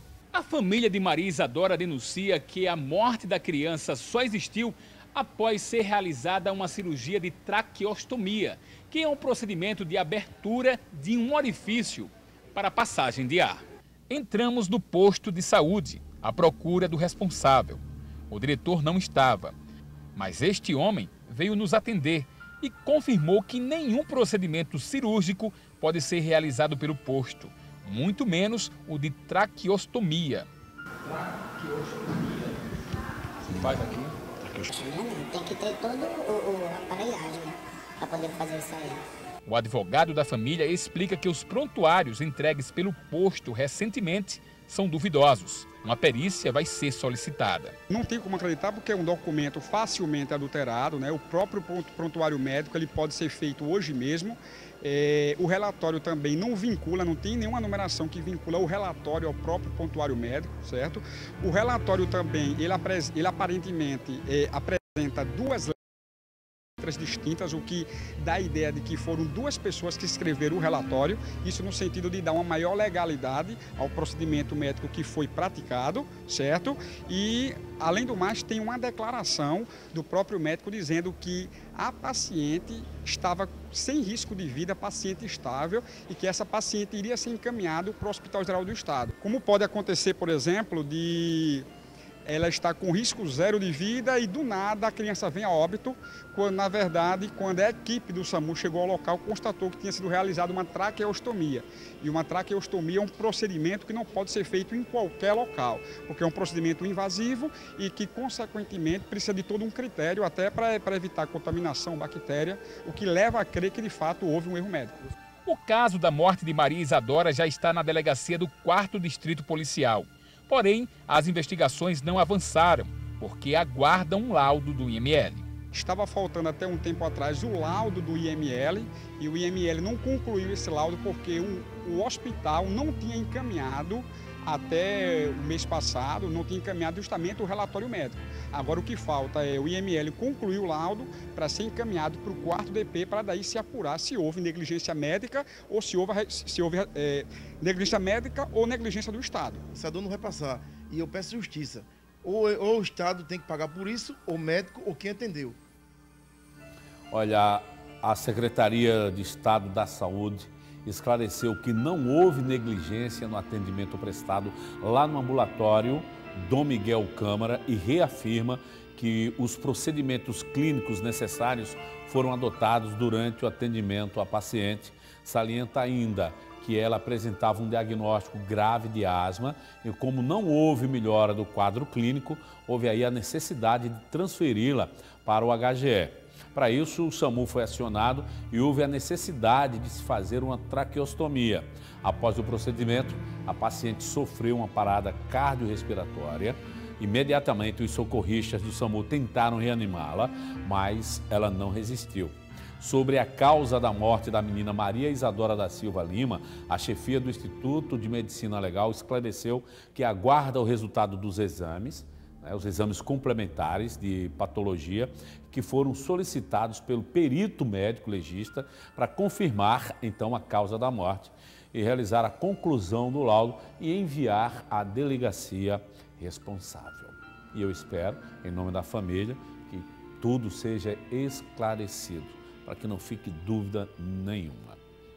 Bom, tem promoção pintando por aqui. Doutora Aline, vem cá que você fazia tempo que não me visitava, né, garota? Fazia tempo que você não, não vinha é aqui, né? Isso é verdade. E sempre né? que você vem, eu fico feliz, eu fico alegre, porque eu sei que alguém vai ser presenteado.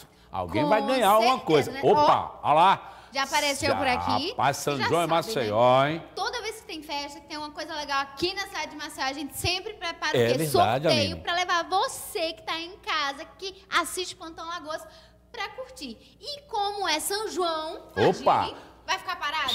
Não vai, porque tem São João em Maceió. Tem São sim. João, São João. Tem Léo E é Magalhães. seguinte, tem Léo Magalhães. Isso é no domingo, hein? Eliezer Seton, Isso. Calanga Aceso. Tem, muita gente. Isso é que é, É no lá no domingo. estacionamento de Jaraguá, dia Isso. 24, que é o domingo, né, Aline? Porque a festa começa na sexta, Isso. sábado e no domingo. Para o domingo é que a gente está sorteando Boa. tanto no nosso Facebook como no nosso Instagram dois pares de ingressos. Olha só. Dois pares de Um ingressos. para o Facebook e um para o Instagram. o Instagram, hein? Então, é muito Tem as simples. regrinhas básicas, doutora Aline, que são... Justamente. Que são o seguinte. Cada, cada rede social tem a sua regrinha básica. Então você entra lá no nosso arroba TV Ponta Verde oficial. Deninho, e bota você- um sonzinho de São João aí, por favor. Ó, que os meninos já estão Vem dançando. cá vocês ó. dois, magia e, Os e- dois, e vem, cabeça, puxa. venham aqui, por favor. Enquanto Dona Aline fala, vem cá vocês dois aqui. Desses pares já, minha gente. É. Então, olha só, é só ir lá no nosso Instagram, arroba TV Ponta Verde Oficial, curtir a foto, Dança do procurar, jeitinho que você tava dançando ali. ler direitinho, né, meninos? E você também, Magia. Repara mesmo. Ele pode entrar em foco. Vem assim. Não, senhor, agora não. Não terminou ainda não a promoção. Vem pra cá vocês dois, vem cá vocês dois, cá Olha vocês dois. lá, a mocinha aqui. Isso. Isso. Bora aí, vocês inventam as coisas e depois ficam correndo. Pronto, Ai, ó, se Deus. quer curtir, se divertir aqui, igual Assim, o menino, igual os meninos, ó. é só ir lá. Nosso TV Ponta Verde Oficial, nosso Instagram e no TV Ponta Verde SBT lá Boa. no Facebook. Curtir todas as... Seguir todas as regras, curtir a publicação. E daí vai estar concorrendo. Tchau, seus figuras. E vão estar concorrendo a o quê?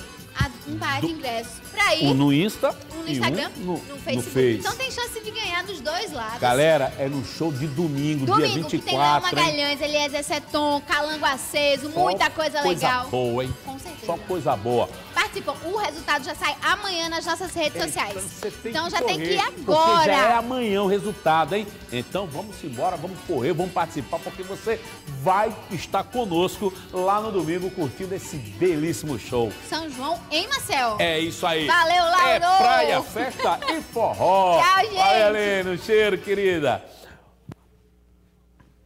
Ó, deixa, Valzinha, vem cá. Eu, eu estou agora, através do telefone, ele não vai se identificar. A senhora vai ter que vir aqui. Eu, eu quero que você seja vista hoje também. O motorista, nós mostramos agora há pouco, aproveita e dá um cheiro em, em você. Olha, nós mostramos agora há pouco aquela ação da quadrilha, aqueles bandidos, os ladrões que atacaram o carro dos Correios lá no Benedito Bentes. E levaram o carro, colocaram os dois funcionários lá dentro, o motorista que não vai se identificar, a gente também não quer que ele se identifique por uma razão óbvia de segurança, para contar melhor, inclusive, ah, como eles foram liberados depois. Olá, amigo, boa tarde. Que situação complicada, situação difícil que vocês viveram, né? É, boa tarde. Me faz uma gentileza, me faz um favor, é, baixa, baixa o volume da sua TV, por gentileza, para a gente ter uma, uma conversa melhor. Rapaz, que, que bacana, bacana. Que- Cara, vou te contar um negócio. Você já tinha vivido uma situação dessas? Eu tinha sido assaltado outra vez. Meu Deus ali do na céu. Jambazina. Entrei na Jambazina, eu já tinha sido assaltado há dois, um ano, dois anos, dois anos. né? Aham. Aí agora nós estávamos fazendo a entrega do Carninha, estava voltando já, já estava voltando. Uhum. E a gente está até comentando, porque aí, nesse setor do, do Frei Daniel, já tinha a gente é o quarto, só nesse, nesse conjunto. Caramba. É quatro pessoas que fez assalto. A gente vinha comentando justamente isso. Quando a gente ia voltando, eles parecidos do nada. Levaram a gente, se você olhar no vídeo, lá no final Uhum. do vídeo do carro desce à esquerda. Isso, exato. É, levaram a gente pra beira da grota, Meu Deus. deixaram a gente sentado no chão, lá no sol quente. O cara com a espingarda, uma, uma calibre 12, ficando cerrado, Mãe de um misericórdia. armado. O pessoal passando, e ele dizia, não, não pode passar, pode passar, que isso aqui é do governo, a gente tá levando do governo. Caramba.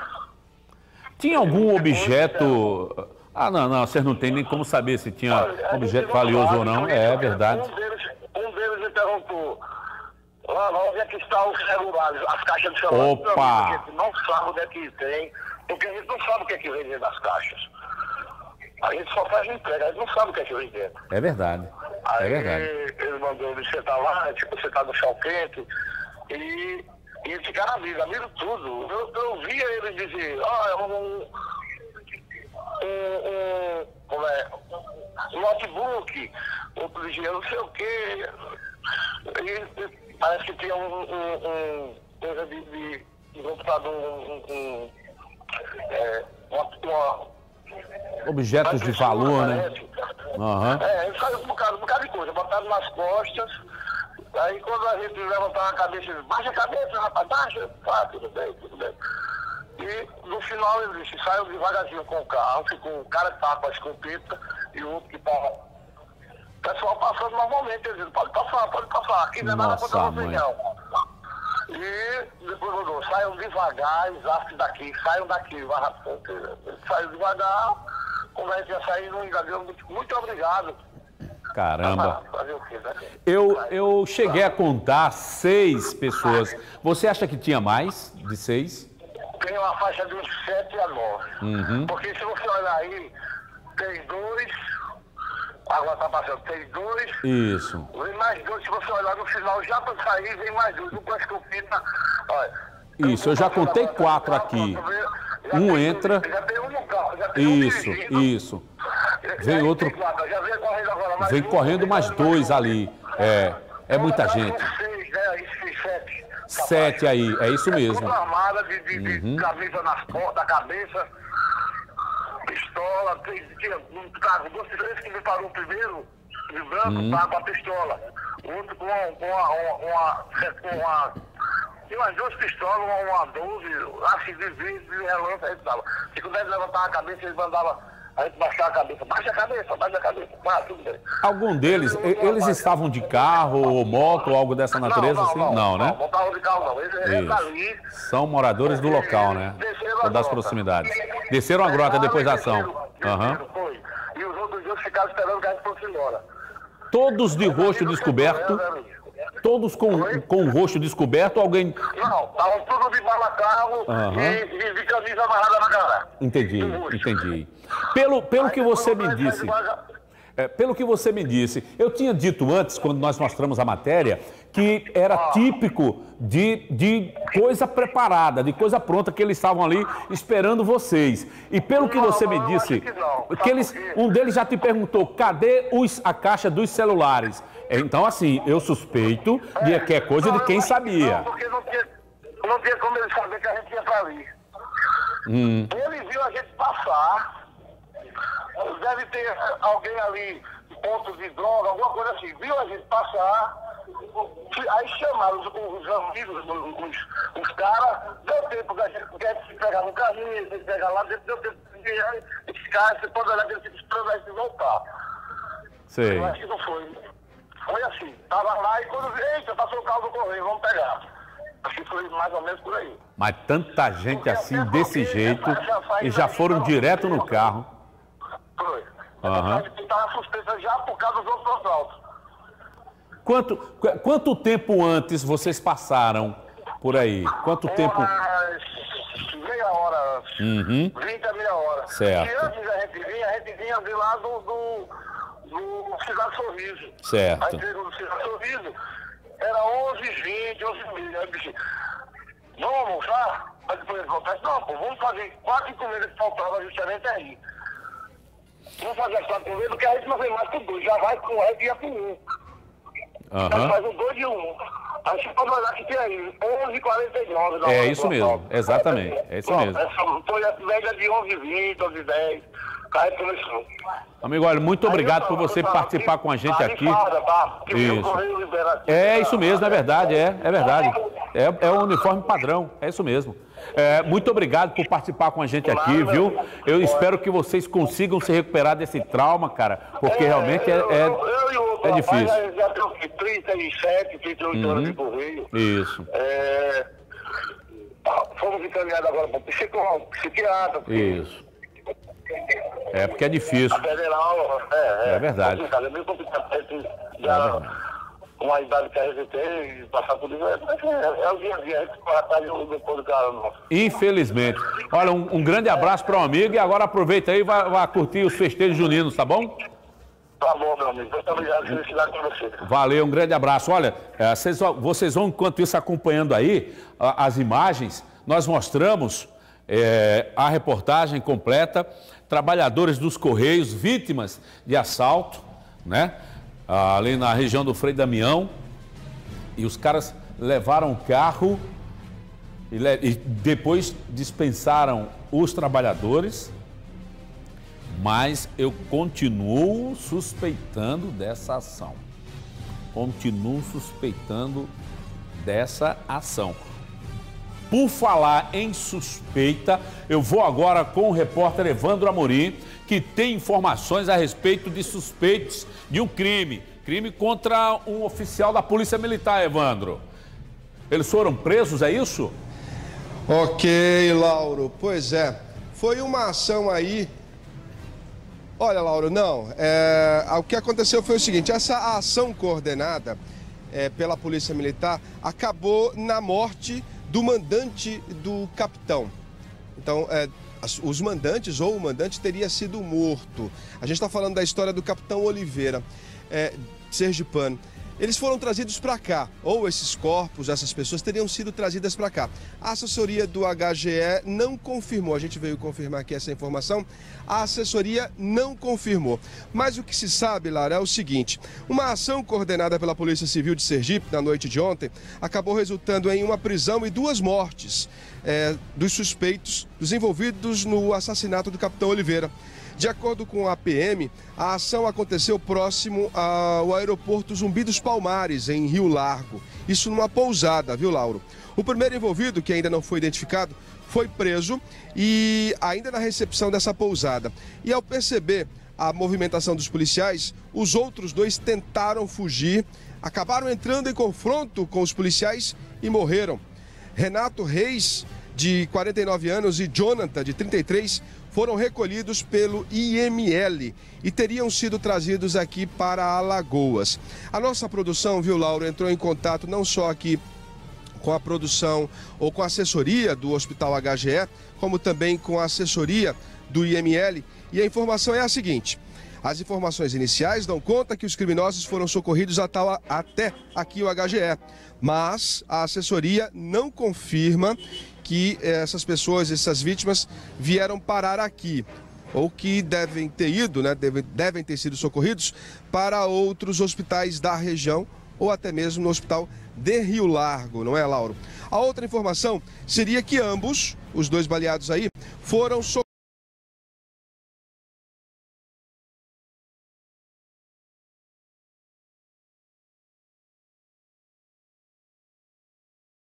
Portanto, foram três envolvidos, uma ação que identificou aí os mandantes da morte do capitão em Sergipe. Tudo veio culminar e terminar aqui em uma pousada próximo ao aeroporto. Lauro.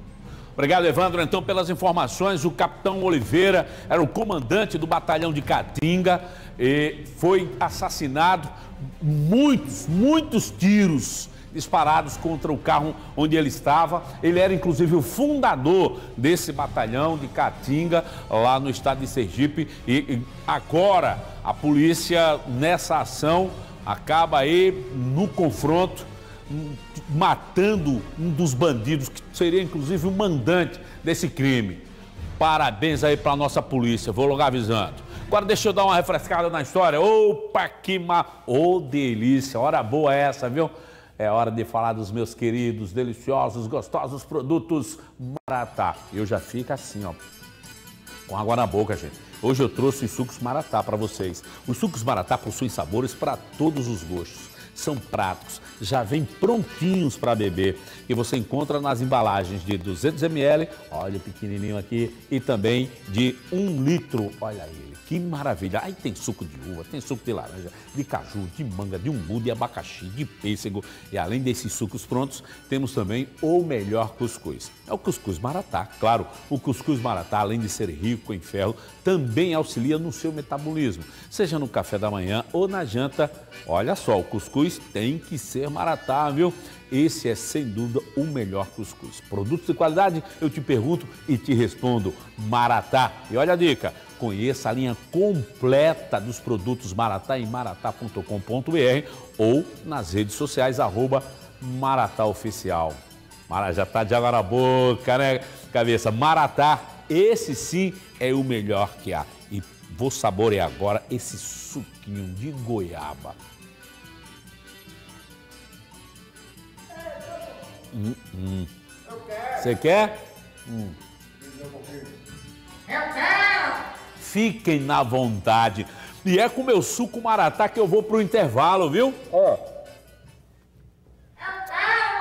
Seu coisa, tira a mão daí, rapaz. Eu volto em dois minutos. Segura o meu maratá, rapaz. Fica todo mundo querendo meu suco maratá, homem.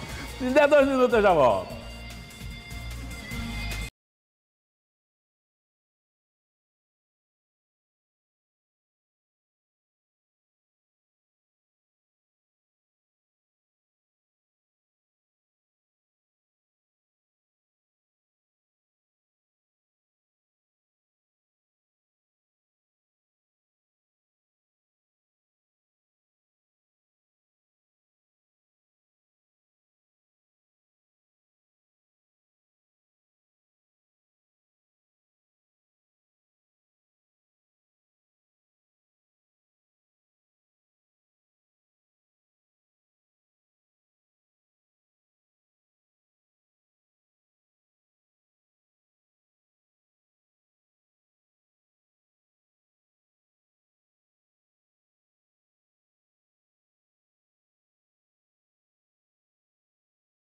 Ela quer muita ajuda de vocês, pois ela confia muito na TV Ponta Verde. Um abraço. Claudemir, faz o seguinte, já ligue agora nesse número que você está vendo aí, ó, é o número da nossa produção, 4009-5576.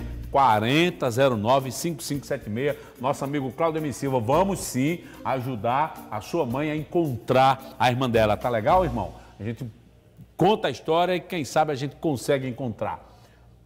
Maria Fortaleza dizendo que a bandagem está grande e mandando um beijo pra gente. Valeu, Maria, um cheiro para você. Natália Leite, manda um beijo para mim, minha mãe Elizabeth, a minha tia Socorro. Somos suas fãs. Um beijo, Lauro Lindão. Outro, Natália Lindona. A Jaqueline Josiane Marelei mandando beijos. Aí o Claudio me agradecendo. Valeu, irmãozinho. Na hora, tamo junto.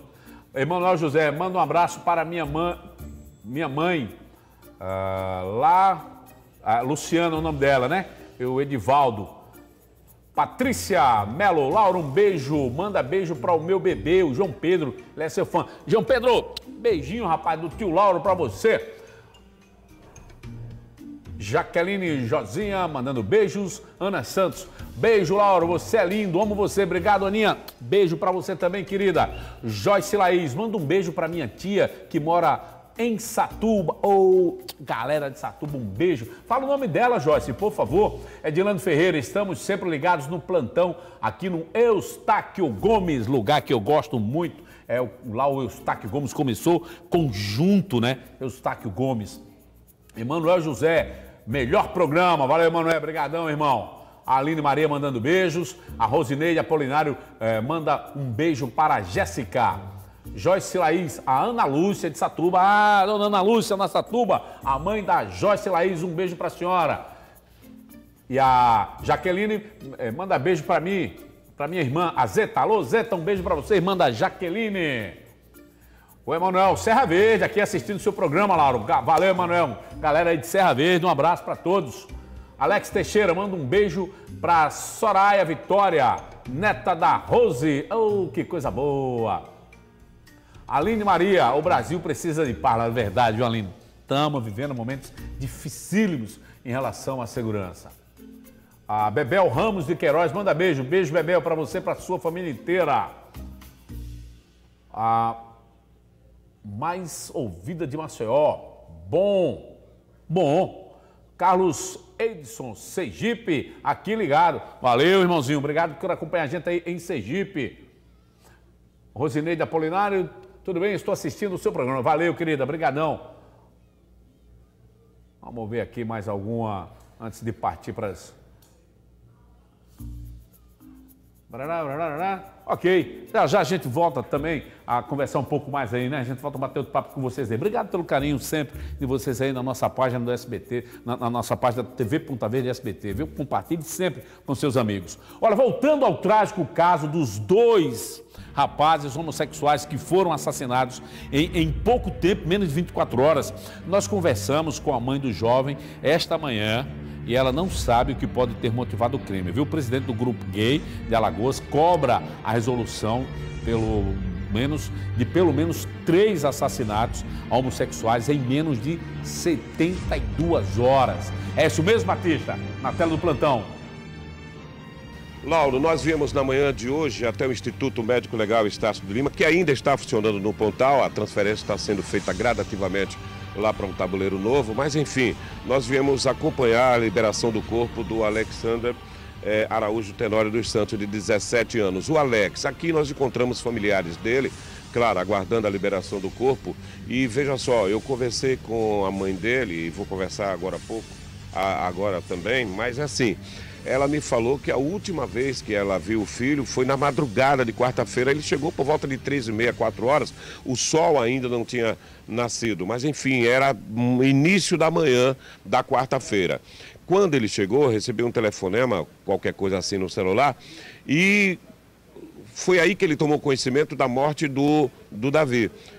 Saiu imediatamente, foi imediatamente para o local onde disseram ter encontrado o corpo do amigo e a partir daí vocês sabem da história, porque nós fizemos a reportagem mostrando exatamente o local onde o corpo do Davi foi encontrado. Pois bem, ele não voltou para casa. Ele passou o dia inteirinho na rua e não voltou para casa.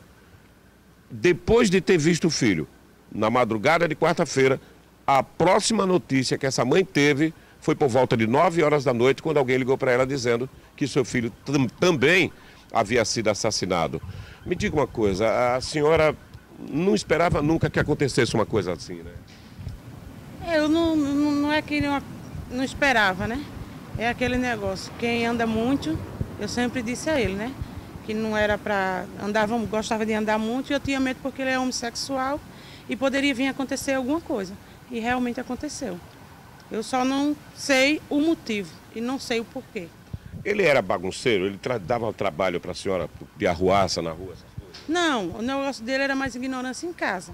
E em rua todo mundo gostava dele. Ele tratava todo mundo bem, entendeu? Só em casa mesmo, que ele era um, um pouco alterado. Eu, pela droga também. Ele usava muito? Usava droga, né? E Felizmente, Me diga uma coisa, é... o relacionamento dele com esse Davi, como era?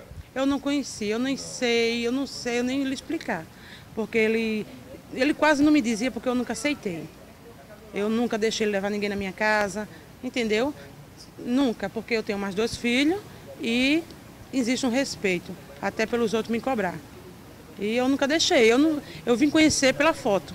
Quando aconteceu que mostraram, aí disse, ó, mas esse é o Davi. Disse que estava com ele, mas ele não, não falava para mim. Ele ter saído de madrugada, ter, chegado de madrugada na quarta-feira, ter ido lá ver o corpo do amigo e depois ter desaparecido de novo. Isso era normal? Ele fazia isso normalmente? A senhora não ficou assustada? Não, fiquei porque ele já fez isso, ele já passou dois, já passou, passou dois, três dias. Depois, no final, de tanto eu ligar, de tanto eu entrar em contato, como agora ele estava sem celular. E aí ele dizia onde estava. Estou chegando, estou na casa de tal canto, estou na casa de fulano. E agora não, ele não avisou, porque estava sem celular, não tinha como. Mas ele já costumava fazer isso. A ligação que ele recebeu foi no celular da senhora. Ele não foi bem uma ligação. Ele mexeu, no, entrou pelo Face dele, pelo meu, que só ele tinha senha. Ele entrou e deve ter visto alguma coisa. Alguém postou, "Ah, aconteceu isso agora, agora. Pronto. Que eu nem me levantei da cama. Eu só escutei a voz dele. Aí quando foi cinco e pouco, com cinco e pouca, aí eu passei a mão que ele dormia comigo.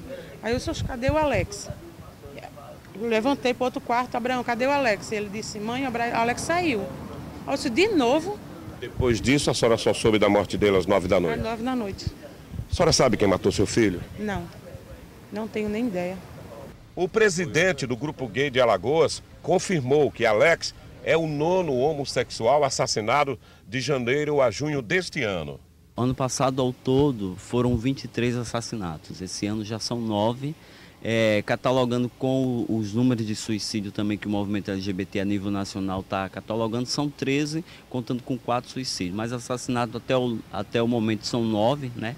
O estado de Alagoas não consegue sair dessa margem sangrenta, principalmente na questão da proporção, entendeu? O movimento LGBT tenta fazer um trabalho não só de prevenção à violência, mas também um combate à vulnerabilidade, trabalhar um, um- um- fazer um trabalho mesmo de consciência junto a essa população para que não venha se expor. Não estou dizendo que foram esses casos, mas a gente precisa reconhecer que em alguns casos há a questão da exposição, há a questão da vulnerabilidade social e o movimento tenta trabalhar, tenta fazer um trabalho, na verdade, de conscientização, mas também é pedir o apoio da- das autoridades de segurança pública que venham que venham trabalhar na conclusão desses inquéritos. E outra coisa, independente se é um crime homofóbico ou não, diretamente ou indiretamente, se é acerto de conta de droga, é, de prostituição, quer que seja, o trabalho, o trabalho do movimento LGBT é prestar o acolhimento a esses familiares, é fazer um trabalho de conscientização com essa população e cobrar das autoridades públicas e da justiça a elucidação desses casos, independente de qual seja o, cunho da questão da motivação do assassinato, foi uma vida e precisa ser resguardada, precisa ter um trabalho de fortalecimento e prevenção e precisa inclusive é, fazer com que as autoridades venham fazer o seu papel, que seria investigar e punir os algozes. Olha, e em um minuto a gente fala sobre a multidão que acompanhou o show de Luan Santana, viu? Eita, caba velho, mas era gente.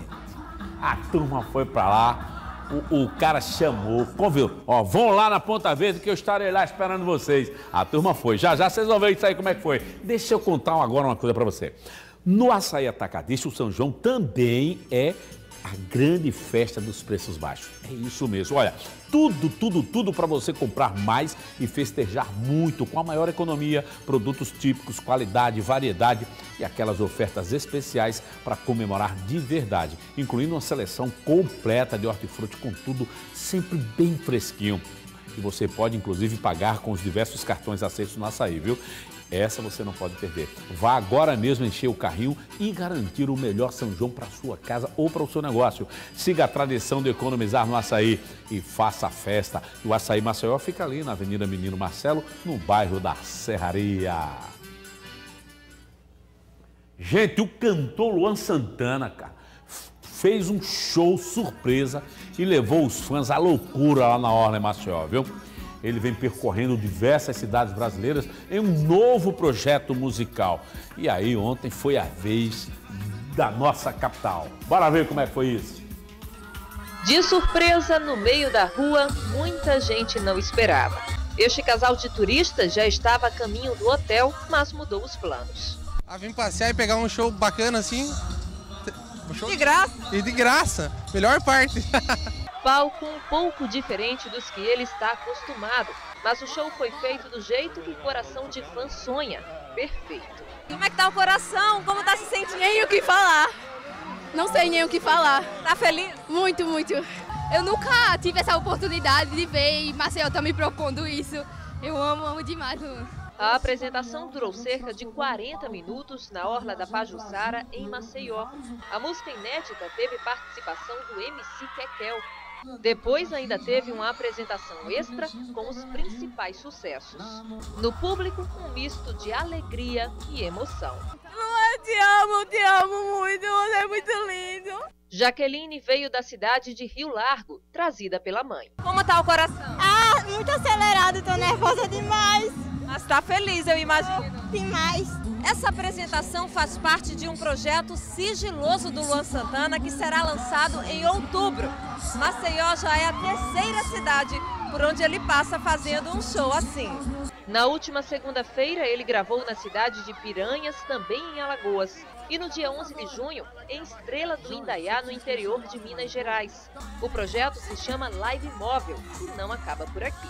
É que é um projeto que ainda é segredo em alguns lugares que a gente está indo. A gente está fazendo surpresa em diferentes praças. Então quer dizer que outros lugares do Brasil provavelmente também receberão um show do Luan Santana.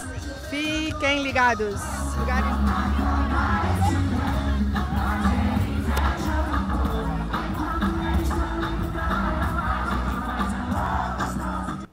Ei, cara, show! Esse cara é bom, hein? Esse cara é bom. Ó, e uma operação conjunta do Grupo de Ação Estadual de Combate às Organizações Criminosas e da Promotoria de Justiça de Viçosa, com apoio da PRF, resultou na prisão do ex-prefeito Flaubert Torres, filho, e do seu ex-secretário de Finanças, o Maxwell Carnaúba Passos. Eles foram presos em cumprimento de mandados de prisão expedidos pela 17ª Vara Criminal da capital. O ex-prefeito é acusado em denúncia feita ao Ministério Público de comandar a farra das diárias, que consistia no seguinte, em fazer concessão de diárias para viagens que nunca existiram, desviando aí dinheiro dos cofres públicos. Flaubert foi preso ontem na cidade de Atalaia e o ex-secretário preso em Viçosa. Os dois já estão no sistema prisional do Estado. Meu amigo, prisão, os caras farrinha das diárias, ó, você vai viajar, só que não. Complicado. Deu gradenal. Deixa eu falar uma coisa legal para você. A torcida permanente pediu e a farmácia permanente traz para você mais uma promoção campeã. É a semana do Leve e Pague. As melhores ofertas. Você faz assim, você leva quatro, só paga três. Aí leva três e só paga dois. Fralda Pampers Punch ou Comfort Mega Leve 4, pague 3, 6 de 21,49. Fralda Tena Sleep Leve 4, pague 3, 6 de 11,49. Toalha Johnson Leve 4, pague 3, 31,90. Desodorante Nivea Leve 3, pague 2, 29,90. E tem muito mais oferta ali esperando, viu? Vai agora mesmo a Permanente, aproveite a maior seleção de ofertas e ainda parcele tudo em seis vezes. E olha que bom, sem juros. Farmácia Permanente, aí ó, perto de você. Presta atenção que agora é hora de saber os destaques do portal op9.com.br. Ela, Fabiana Almeida, já está por aqui e traz, inclusive, como destaque isso que nós acabamos de dizer para vocês. Essas duas prisões importantes. Hein, Fabi? Boa tarde, querida. Boa tarde, Laura. Boa tarde a todos. Pois é, mais uma vez estamos em sintonia, né? Essa matéria também está lá no nosso portal Open9. Olha só, o prefeito, o ex-prefeito lá de Viçosa, Flaubert Torres Filho, e o ex-secretário de Finanças lá do município de Viçosa, Maxwell Carnaúba Passos, foram presos na noite de ontem, durante uma operação conjunta do JAECO e da Promotoria de Justiça de Viçosa. Eles são acusados de participar de um esquema de desvio de dinheiro denominado de farra das diárias. E a nossa outra informação é com relação ao nome de todos os aprovados do concurso da educação aqui do Estado. Essa lista foi divulgada hoje no Diário Oficial do Estado. Uma boa notícia aí para quem estava esperando, né? Lauro, essas e outras informações lá no nosso portal open9.com.br e eu lhe encontro amanhã, hein, após o Jogo do Brasil. Até amanhã. Tchau, Fabi. Beijo e até amanhã, querida. Olha, o Procon Alagoas apresentou os resultados dos últimos 100 dias de trabalho da instituição. Houve aí a intensificação na fiscalização em postos de combustíveis de todo o estado e o reforço na garantia dos direitos dos consumidores por meio de ações em supermercados. E o Evandro Amorim traz informações para a gente. Evandro, é com você. Com o novo formato, o PROCON agora é uma autarquia, Instituto de Proteção e Defesa do Consumidor.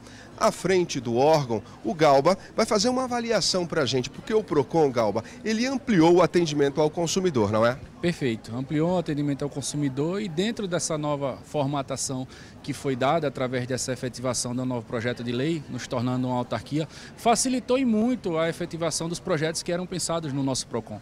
Então, todas as situações, situações hoje que nós projetamos, que nós discutimos, ela tem essa possibilidade de ser efetivada justamente por essa autonomia maior, administrativa, financeira, que foi dada e repensada pela modernização da gestão através do governo Renan Filho. E a gente pode até citar é, pelo menos dois exemplos. Né? Na mais recente greve aí dos caminhoneiros, o PROCON atuou e atuou de forma enérgica. Enérgica, enérgica e de preventiva, né? uma forma preventiva para evitar os abusos. Infelizmente, a gente ainda tem presente na nossa sociedade é, pessoas que tentam tirar proveito de situações adversas.